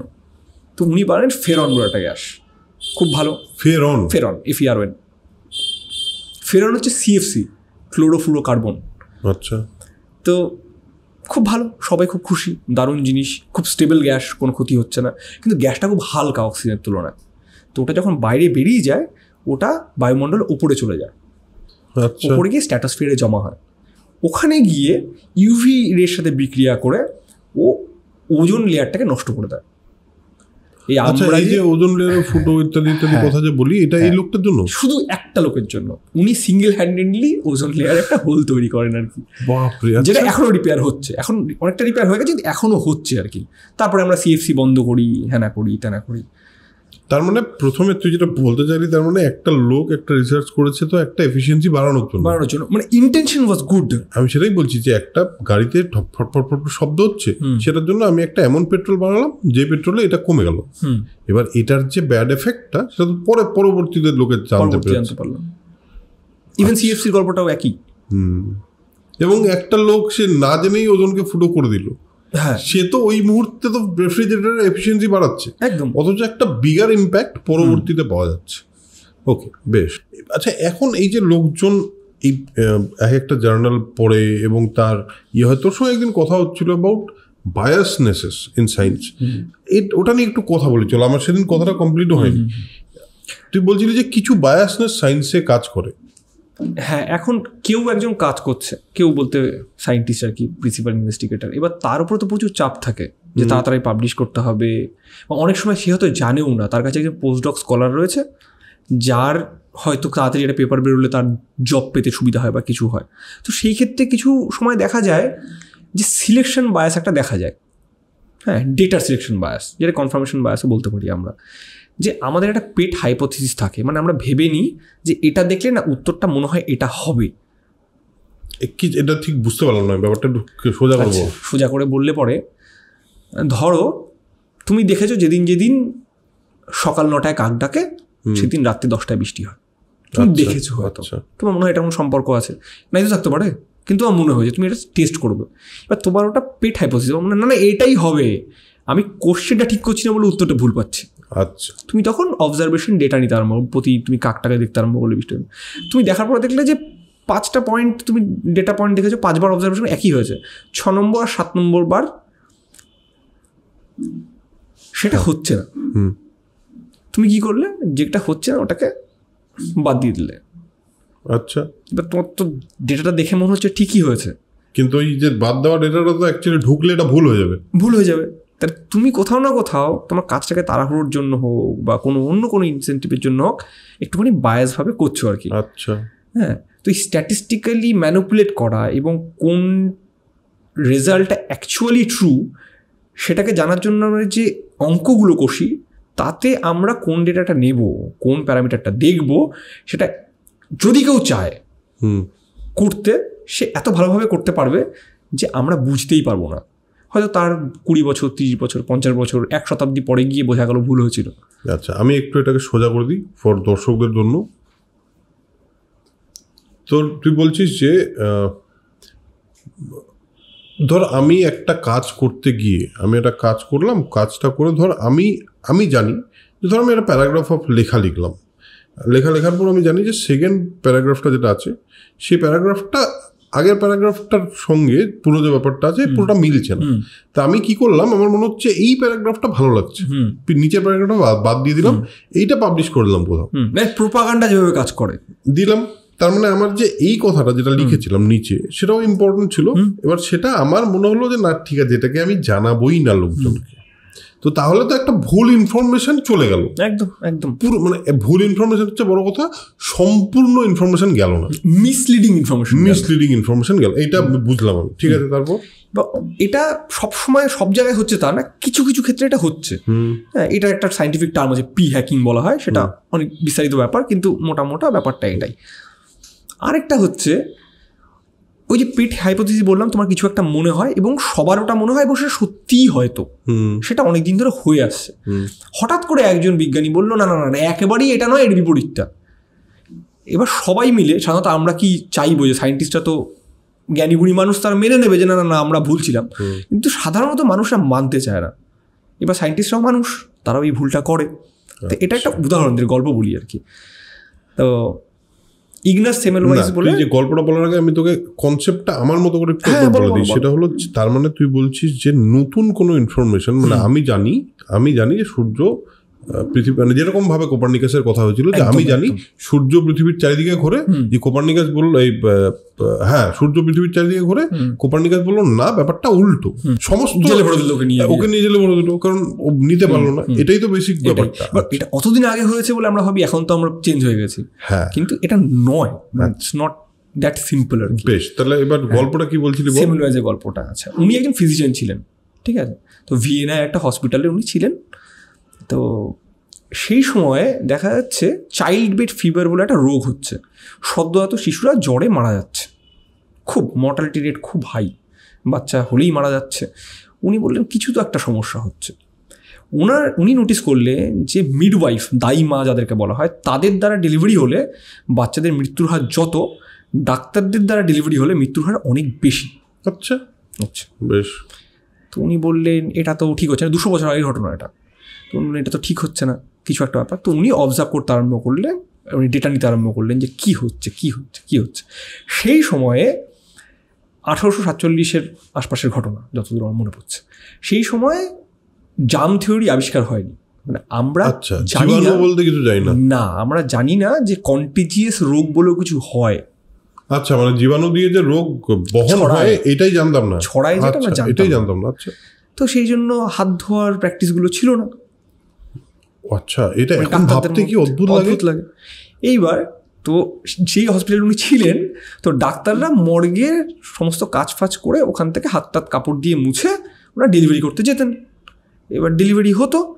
মানে না ধুয়ে টুয়েই চলে না। ধুয়ে টুই মানে তখন ওই ব্লাডি অ্যাপ্রন মানে ভালো ডাক্তার এটার একটা প্রচলন ছিল। ও ওকে আচ্ছা। ঠিক আছে ডেলিভারি করতেন তারপরে মারা গেত উনি বললেন যে না না না না না আমার মনে হচ্ছে ওই মর্গ থেকে এসে পরিষ্কার পরিচ্ছন্ন হয়ে না যাওয়ার জন্য এটা হচ্ছে।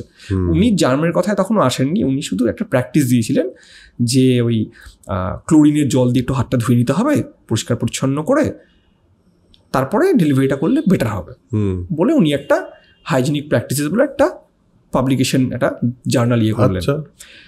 এবার সাধারণত সবাই কি বলবে না ট্রাই তো করে দেখি অ্যাটলিস্ট হুম, হতেও পারে সত্যি। একদম না ওনার পিয়াররা ওনার আশপাশের ফিজিশিয়ানরা সবাই ওনাকে রিডিকুল করতে শুরু করলেন।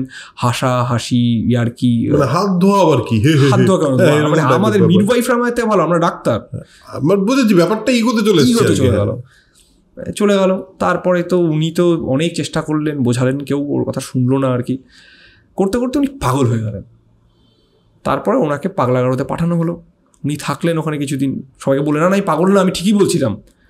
একদিনও পালানোর চেষ্টা করলেন ওখান থেকে। তো গার্ডরা ধরুন ওনাকে পেটালো যে পাগল পালিয়ে যাচ্ছিল। পেটানোর পরে ওনার কোনো ট্রিটমেন্ট হয়নি ওনাকে সেলে রেখে দেওয়া হলো।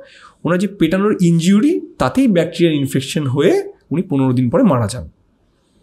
ঠিক এই ঘটনার বছর দুয়েক পরে লুই পাস্তুর প্রথম বললেন যে এরকম কন্টেজিয়াস মানে জার্ম বলে একটা ব্যাপার আছে। জার্ম বলে ব্যাপার আছে এবং রোগ কন্টেজিয়াসও হয়। তো আমরা পরে গিয়ে সেমেল ওয়াইসকে মানলাম যে না না উনি he was ahead of your his time তো এটা একটা বড় ব্যাপার আমাদের বুঝতে হবে যে নতুন ইনফরমেশন আসলেই সেটাকে মুখ বন্ধ করে গ্রহণ করা যেরকম উচিত না সেরকম টেস্ট না করেও একদম ফেলা উচিত। না হ্যাঁ। এই বায়াসটা হয়তো একটু একটু সবার মধ্যেই থাকে। বিজ্ঞান চেষ্টা করে এটা না হওয়ার কিন্তু এটা রয়েছে কোথাও কোথাও। এর উল্টো বয়সও তো নিশ্চয়ই আছে। যেমন? মানে যেরকম বলছি যে কিছু জিনিস বিশ্বাস করব না আবার কিছু জিনিস আমি এইটুকু জানি বলে আমি আমার বাকি ফাইন্ডিং গুলোকে ওইটা দিয়ে জাস্টিফাই করার চেষ্টা করব। সেটাই আমরা একটু কথা বলুন কনফার্মেশন বায়াস শুধু আমার যেটা মনে হয় আমি সেটার পক্ষেই যুক্তিগুলো দেখাচ্ছি। বিপক্ষগুলোকে ধরছি না ওইটাই ঠিকই ওইটাই কনফার্মেশন ওটাই রাইট তোমার ওয়ার্ল্ড ভিউকে সাপোর্ট করে শুধু সেই ওপিনিয়নগুলোই তুমি নেবে। তাই কনফার্মেশন ঠিক এবং সেটা সেই বায়াসটা মনে হয় কনফার্মেশন বায়াসটা আমার মনে হয় সমস্ত দিকেই যাচ্ছে। হ্যাঁ অ্যাকচুয়ালি এইগুলো সায়েন্সে আছে কিন্তু মেনলি এইগুলোকে কগনেটিভ বায়াস বলে। আমরা জীবনের প্রত্যেকটা ক্ষেত্রে এগুলোকে ইউজ করি। হ্যাঁ এবং এগুলোকে আইডেন্টিফাই যদি কেউ করতে পারে এটা নিয়ে বইপত্র প্রচুর আছে পড়াশোনা করতে পারে সবাই। কগনেটিভ বায়াসগুলো যদি জানতে পারি তাহলে আমাদের বিহেভিয়ারগুলো চেঞ্জ হবে। অনেকটা বুঝতে যদি পারি যে আমি এটার জন্য এটা ভাবছি অ্যাকচুয়ালি এটা না। আমি সে সত্তা নই সেখানে অন্য জিনিসও আছে। মানে আমার ধারণাটা ভুল হতে পারে। রাইট আমি বলছি যে সিনেমার ক্ষেত্রে আমার কাজের ক্ষেত্রেও বা রাইটিং এর ক্ষেত্রেও আমাদের এই কিছু বায়াসনেস কাজ করে। হুম। সে কা- যে সেই জিনিসগুলো কিন্তু একই রকম। মানে দু দু ক্ষেত্রেই ব্যাপারটা একই রকম। আজকে না তোর সঙ্গে এতক্ষণ কথা বলে আমি সায়েন্সের এমন এমন বিষয় সম্পর্কে জানতে পেরেছি আমার মনে হয় আপনারাও আমার সঙ্গে জানতে পেরেছেন যে বিষয়গুলো নিয়ে আমরা অ্যাকচুয়ালি ভাবি না বা ভাবার দরকারও পড়ে না।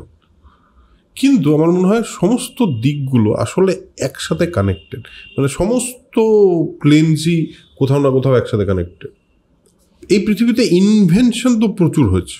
আচ্ছা।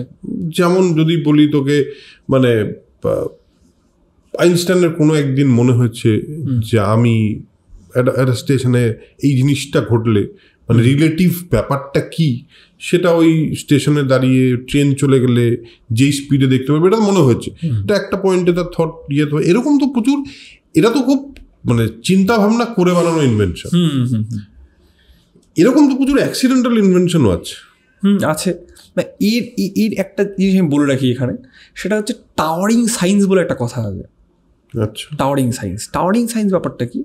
ধরো আজকে কেউ কিছু একটা নিয়ে কাজ করছে তো কেউ একজন জিজ্ঞেস করলে এটা দিয়ে কী লাভ হবে? এবার লাভটা জানি না তখনই সেটা অ্যাক্সিডেন্টাল হয় তো যেমন লাভটা জানি না। তো টাওয়ারিং সায়েন্স কথার অর্থ কি? সেটা একটা স্কাপচার একজন বানিয়েছিলেন আমার নামটা এই মুহূর্তে একদম মনে নেই। সেটা হচ্ছে একজন গেল একজন এক জায়গায় একটা পাথর রাখল। আরেকজন পাশে একটা পাথর রাখল আরও একজন একটা পাথর রাখল।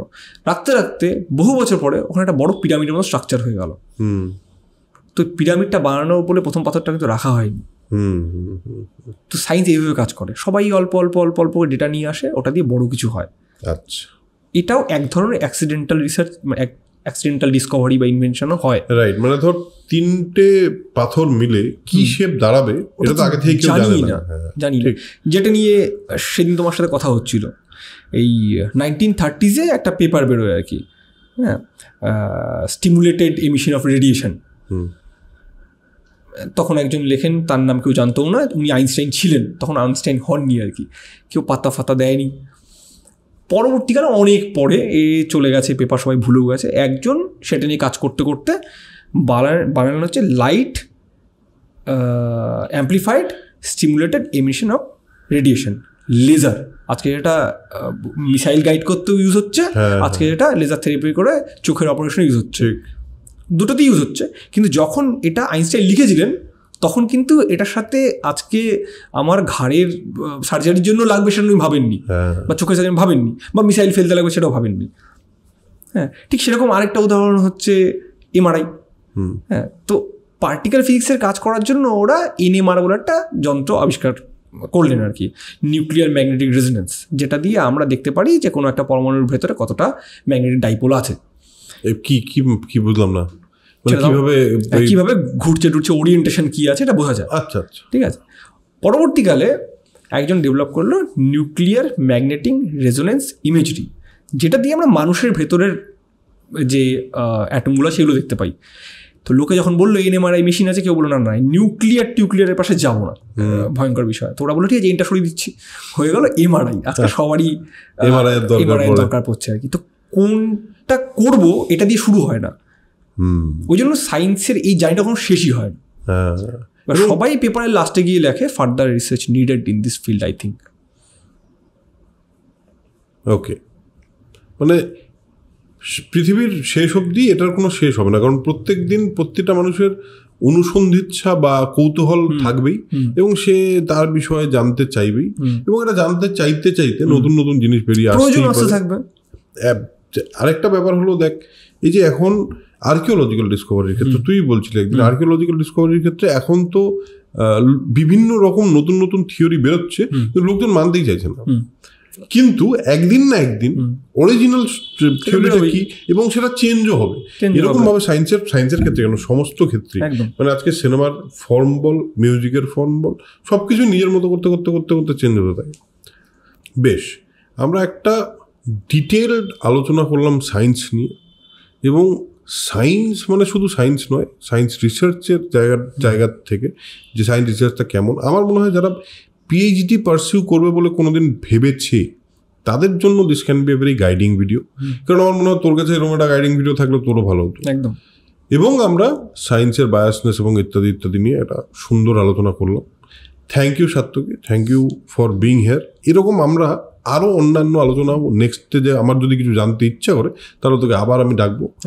এবং আমরা এরকম একটা সুন্দর আড্ডা মারবো। আশা করি আপনাদেরও এই আড্ডাটা ভালো লেগেছে। আপনারা আমাদের সঙ্গে ছিলেন। আহ, শুধু একটাই কথা বলার, এমনিতে বিরাট কিছু বলার নেই। নেক্সট এপিসোড নিয়ে খুব শিগগিরই আসছি। আরেকটা কথা সাবস্ক্রাইবটা অবশ্যই করবেন। আর লাইক বলে একটা বাটন আছে, ওটা যদি ক্লিক করে দেন, তাহলে এই ভিডিওটা আরও বেশি লোকের কাছে পৌঁছবে এবং যারা হয়তো তাদের মধ্যে যারা পিএইচডি করতে চায়, তাদের, তারাও থাকতে পারে। সুতরাং লাইকটা প্লিজ করবেন। আর সাবস্ক্রাইব করাটা খুব জরুরি, কারণ এরকম প্রচুর ভালো ভালো কনভারসেশন নিয়ে আমরা আসব। হ্যাঁ আর ঘন্টি বাজাতে ভুলবেন না, ওই যে একটা নোটিফিকেশনের জন্য বেল থাকে, ওটাতে নোটিফিকেশন পেয়ে যাবেন। থ্যাংক ইউ সাত্তকি প্রথম কথা হলো, তো তুই যে রিসার্চ করছিস মানে আমি আশা করি যে সেই রিসার্চ আসলে মানুষের কল্যাণের কাজে লাগুক এবং তোর রিসার্চ খুব সাকসেসফুল হোক। এরকম ভবিষ্যতে তোর রিসার্চ সাকসেসফুল হওয়ার পরেও হয়তো আমরা একটা পডকাস্ট করতে পারি, তার আগেও করতে পারি। সো থ্যাংক ইউ চলো let's conclude for the day tata.